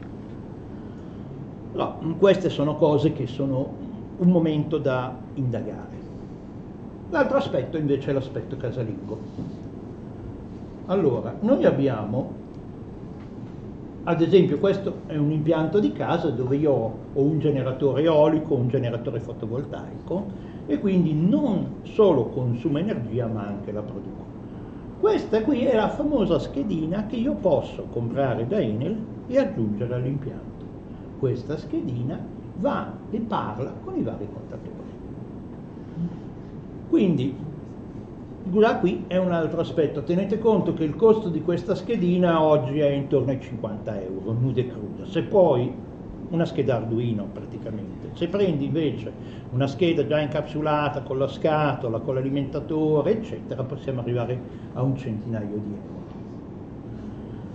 Cosa c'è dentro? Un processore, un modem powerline e alcune interfacce USB. Eccola qui, si vede un po' meglio. Cioè, chiaramente una batteria, questa è la parte ad alta tensione dove arrivano dentro i 230 volt, un po' di integrati, varie porte, RS485 e UART. Mi fai partire il... Questo è un manualetto, eh, in PDF si vedranno qualche pagina, eh, dove invece si racconta come parla. No, torno indietro. Allora, questo è nuovo nuovo, nel senso che parliamo del 20 di novembre del 2018. Ah, posso andare avanti io? Sì. Ok, qui si raccontano un po' di cose, si... veramente c'è tanta roba, bisogna leggerselo tutto. Io non ho avuto il tempo di guardarci, però è interessante.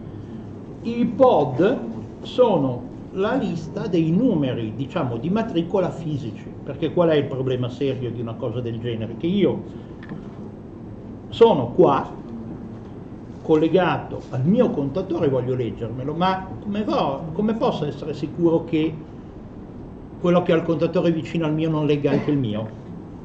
O viceversa? Perché comunque il segnale power line gira dappertutto, soprattutto se siamo metti in un condominio. Quindi abbiamo tutta una serie di tabelle in cui vengono caricati i codici univoci dei contatori, i codici univoci di questi apparecchi MOME e bisogna fare il matching e essere sicuri che eh, vengano gestiti in modo corretto. Altre cose, ad esempio abbiamo delle tabelle con dei numeri eh, riservati. Cosa succede se io metto dentro dei numeri diversi? Si blocca tutto oppure saltano fuori altre cose? Abbiamo esattamente la lunghezza e la tipologia delle stringhe. C'è molto di più, i parametri, è quasi come se fosse un collegamento, mm, non vorrei dire stupidate, ma come si usava con i vecchi sistemi dei modem, AT. Tutto il bellissimo modo con cui discutono altre cosette, addirittura quando, come due di queste discutono fra di loro, adesso arriviamo a vederne un'altra che sono, scusate, ecco,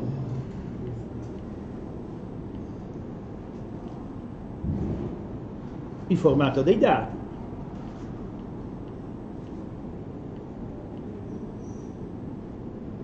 Lista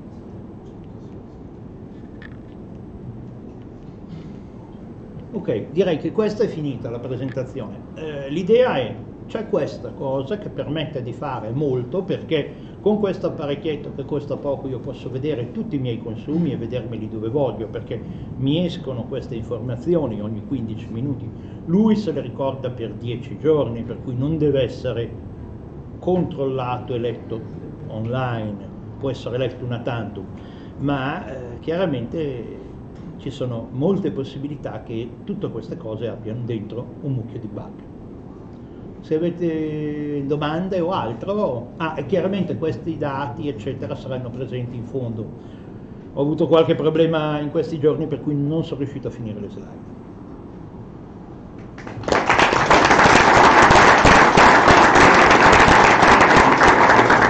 Eh, domande? Eh, Dimmi. Il consorzio e distribuzione ha dato qualche diciamo, tipo di garanzia eh, sul fatto che eh, i dati trasmessi dalle varie centraline non possono essere letti dalle altre centraline? O...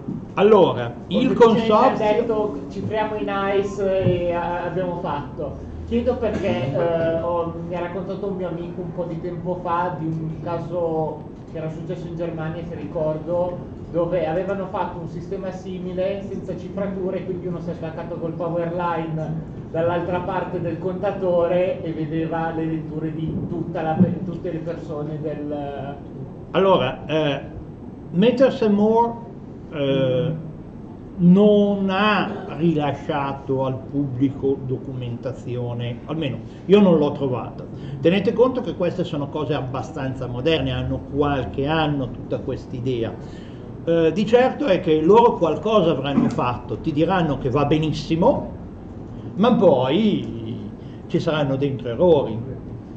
Il rischio sicuramente c'è, o che usino cose obsolete, per cui però loro in realtà non parlano con noi, quindi Matters and More non parla con noi, parla con Enel, quindi è sopra Enel o sopra A2A se tu hai il contatore. Quindi sono quelle cose che sono, eh, sì facciamolo, soltanto che siamo- prima avevamo i sigilli sul contatore, i piombini schiacciati ci sono ancora, adesso oltre a quello dovremmo avere qualche cos'altro per impedire che succedano casini. Dimmi, Allora, lei ha detto che... no dammi del tu ti prego. Eh, comunque, Dai. Hai detto che il, è il contatore a gestire comunque diciamo eh, il rapporto con l'alimentazione del cliente. Quindi in caso sarebbe il contatore a staccare la linea e non più Enel. Allora, funziona così.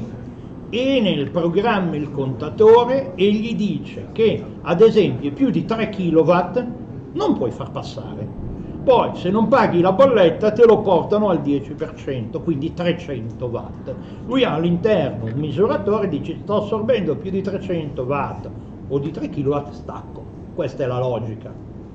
Quindi- quanto sarebbe difficile ad esempio bypassare lo stesso il contatore e quindi diciamo far saltare questo blocco software che ha.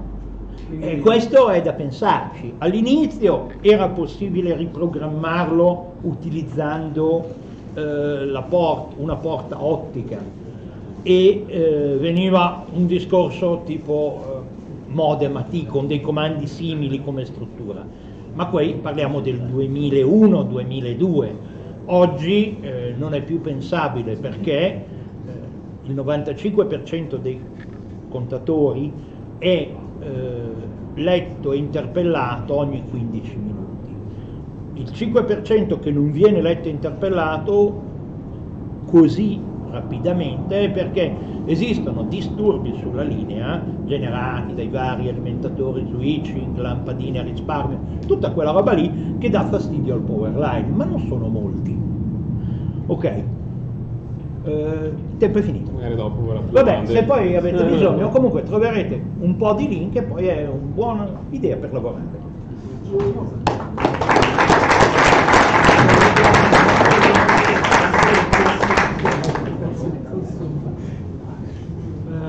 Tutti, mi chiamo Mohamed Atifi e oggi faccio una presentazione delle tecniche di spam avanzate.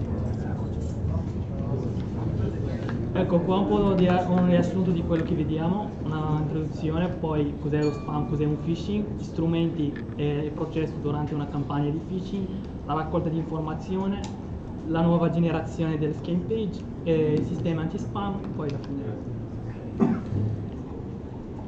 Qua una parte teorica, quindi dobbiamo passare lo stesso, avete un po' di pazienza. Spam e phishing, la posta elettronica ormai è diventata uno strumento molto utile nella comunicazione, è entrato far parte della nostra vita quotidiana, pensiamo che solo in Eh, Italia. scusa, non si sente, alza un po' più Scusa. La posta elettronica ormai è diventata uno strumento molto utile di comunicazione ed è entrato a fare parte della nostra vita quotidiana. Pensiamo che solo in Italia ogni giorno vengono spediti circa 940 milioni di email, diventa quindi indispensabile tutelare da eventuali truffetti la nostra casella di posta elettronica. Per farlo bisogna conoscere alcuni termini tipo spam e phishing. Lo spam è il termine che indica la ricezione di qualsiasi messaggio indesiderato. La forma più comune di spam è quella che riguarda la posta elettronica indesiderata. Molte aziende attraverso i messaggi di spam propongono i loro prodotti e i servizi alla ragione di ricercare alcuni sempre inutili, perché è poco costoso, poi pote- si può mandare migliaia di mail nello stesso tempo. Il phishing invece è un tipo di truffa via internet attraverso la quale un aggressore chiamato fisher cerca di ingannare la vittima convincendola di fornire informazioni personali sensibili. Nelle truffe di phishing che avvengono tramite posta elettronica esiste un procedure che possiamo definire come standard. Primo, il truffatore o Fisher spedisce un messaggio di posta elettronica che simula nella grafica e nel contenuto del sito ufficiale della banca, quindi può essere PayPal, streaming, Netflix, Apple, qualsiasi altra cosa. Secondo punto, quasi sempre il suo contenuto è relativo ad avvisi di particolari situazioni o problemi da verificare, il proprio conto corrente non funziona oppure la password da aggiornare, eccetera, eccetera. La mail invita il destinatario a seguire un collegamento, un URL contenuto nel messaggio per risolvere la situazione. Poi, penultimo passo, il collegamento fornito rindirizza ad una copia del sito ufficiale dove si trova la nostra scam page, cioè la scam page di cybercriminali. Ultimo punto, le informazioni fornite vengono quindi rubate quando memorizzate dal server gestito dal truffatore e verranno utilizzate per fare acquisti e trasferimento di denaro e altre cose. Qua vediamo strumenti che vengono utilizzati in una campagna di phishing. Allora, la prima cosa fondamentale è la lista di indirizzi email, oppure chiamata nel mondo dei cybercriminali mailing list. È l'elenco degli indirizzi email che ricevono la mail di phishing. Poi, seconda cosa è il dominio, oppure lo spazio web dove viene caricata la scam page o la, la pagina clonata del sito ufficiale. Terza cosa, il mailer oppure il servizio di invio mail e si, si usa di solito o un servizio di cloud come Office 365 o un SMTP gratuito, gratuito tipo quello di Google oppure sfruttando la funzione mail sui server hackerati. L'ultimo strumento è la scam page poi, oppure la five page oppure la, la pagina falsa diciamo. Adesso andiamo a, a vedere al dettaglio ognuno di questi strumenti qua e cosa serve.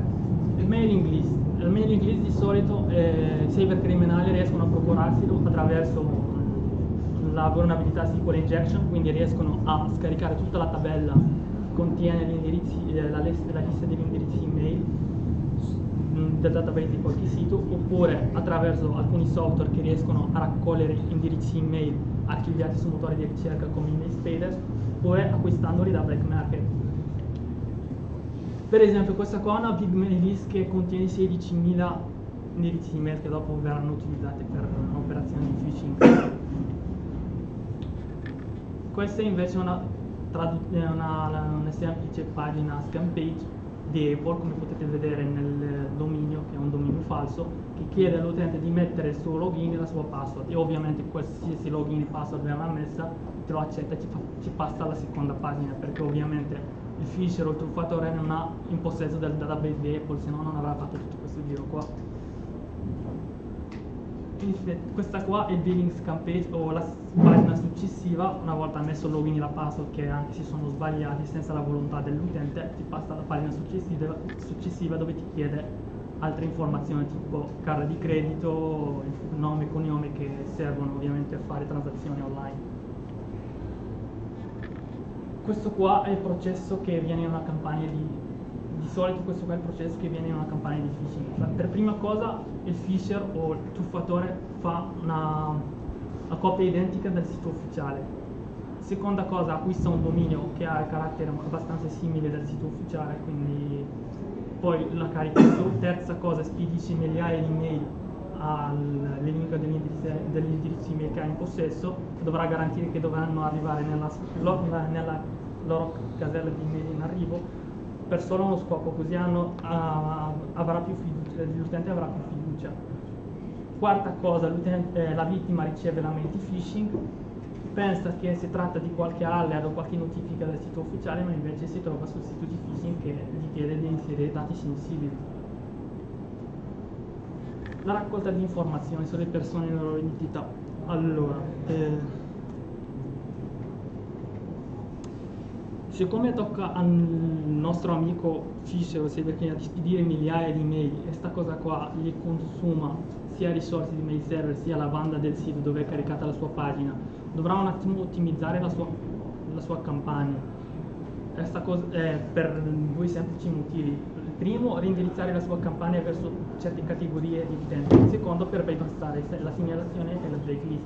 Ma come? Come possiamo risalire o avere un po' di informazioni su certi utenti a partire dalla loro mail.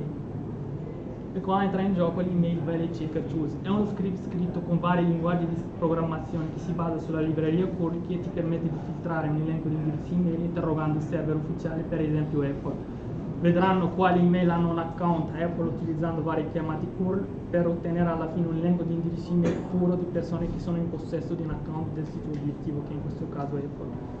Perché ovviamente, come abbiamo visto qua, tutta, tutto questo tutto tutti questi indirizzi email qua non tutti possiedono un account Apple, quindi i, server criminali per ottimizzare la loro campagna usano questo script qua che si chiama Value Checker Tools.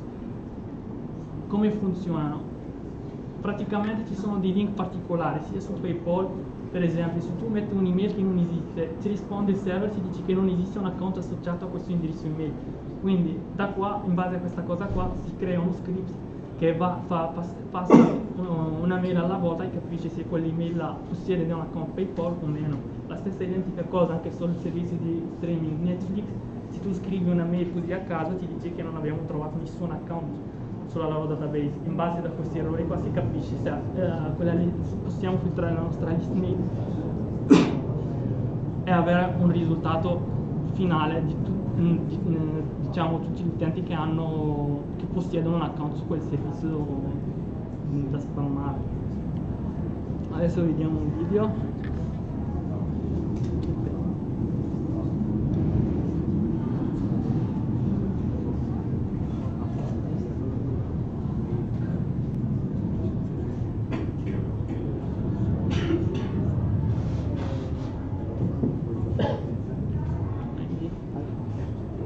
allora qua ho un cica scritto, eh, scritto con Shellbash che fa un check su fai un po' un attimo. Allora come potete vedere lo script si chiama check.sh è scritto con Shellbash che fa un check sulla nostra mail list che è una mail list fatta io a caso che contiene 4 email in cui solo una email possiede un account Apple e le altre, le altre 3 non, sono, non esistono neanche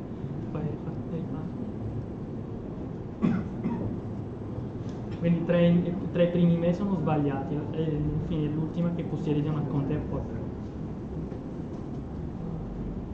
qua mi chiede il percorso della mia mail list.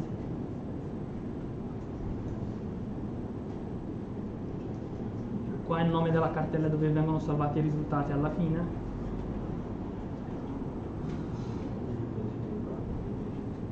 Qua vari parametri. Che voglio spiegare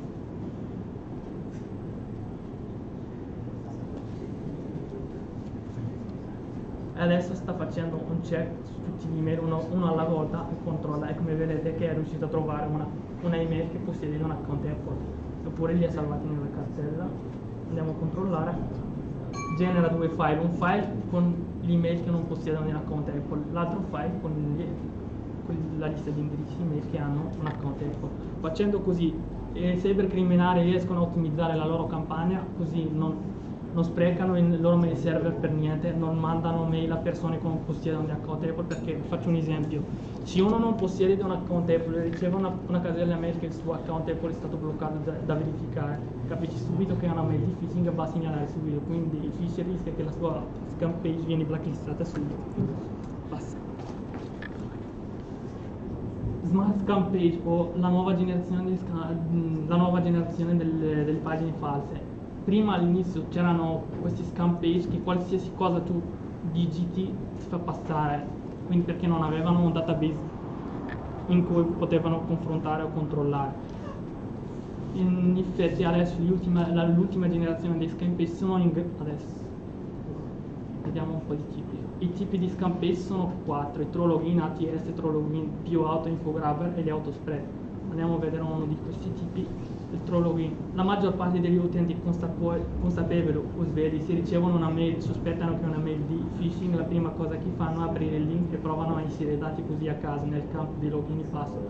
Se ovviamente il sito dice che i credenziali sono sbagliati si capisce che, una, che si tratta del sito ufficiale, se invece si fa passare vuol dire che è una scam page.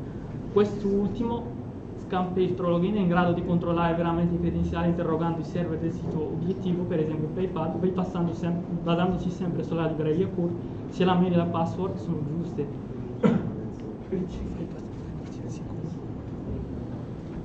Adesso vediamo un esempio su una scan page login. L'ho caricata sul mio localhost, quindi sono proprio all'esterno di PayPal. Come vedete è una pagina copia identica, qua mi chiede di mettere il mio login, metterò la mia email e metto una password sbagliata all'inizio per prova.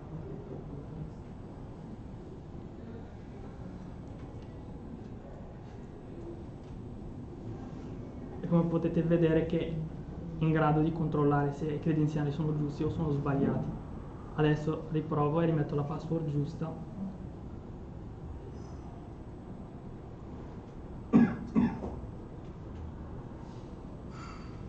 E in effetti mi ha fatto entrare e mi rindirizza sulla pagina successiva che mi chiede altre informazioni.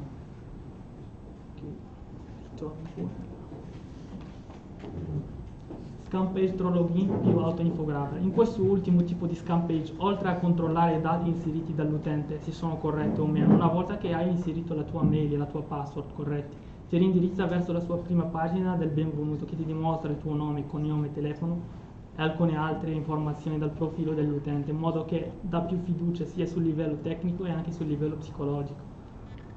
E vediamo subito l'ultimo video che dimostra stavolta vediamo su un servizio di streaming Netflix sempre sul localhost proprio fuori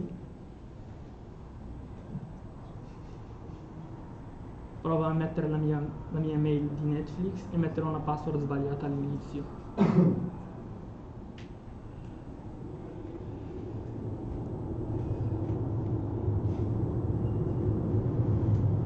Infatti riesce a capire se la mail e la password che ho dato sono se ho sbagliato.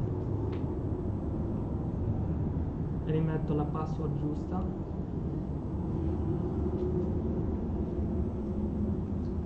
in questo momento sta interrogando i server di Netflix in base alla risposta che avrà decide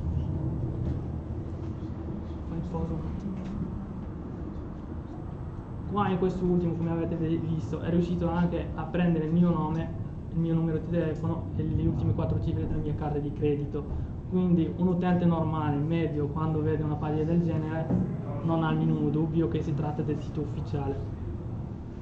Quindi vai avanti. Non lo è. Non lo è. Poi quando fa conferma ti rindirizza sulla sua successiva pagina e ti chiede qualsiasi cosa, che la maggior parte degli utenti inseriscono senza dubitare.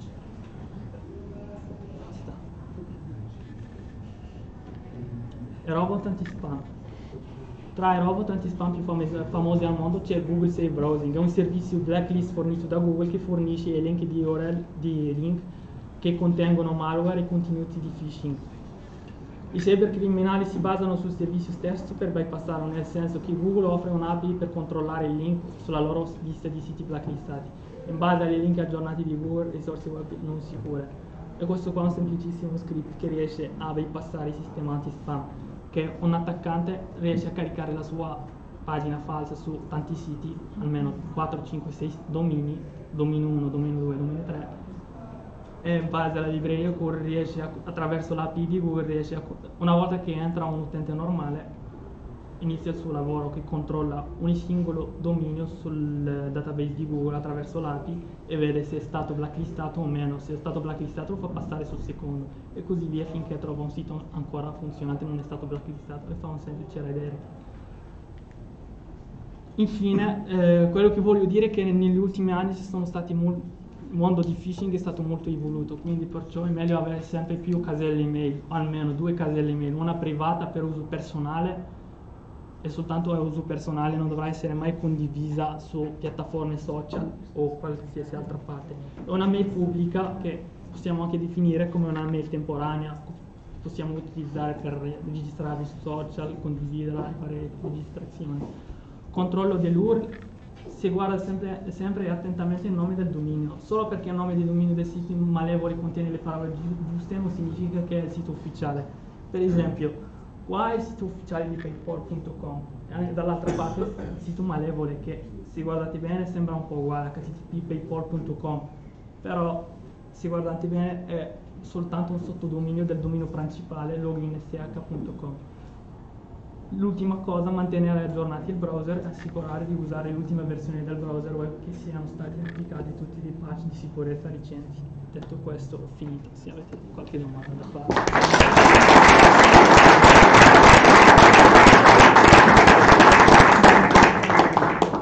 Domande?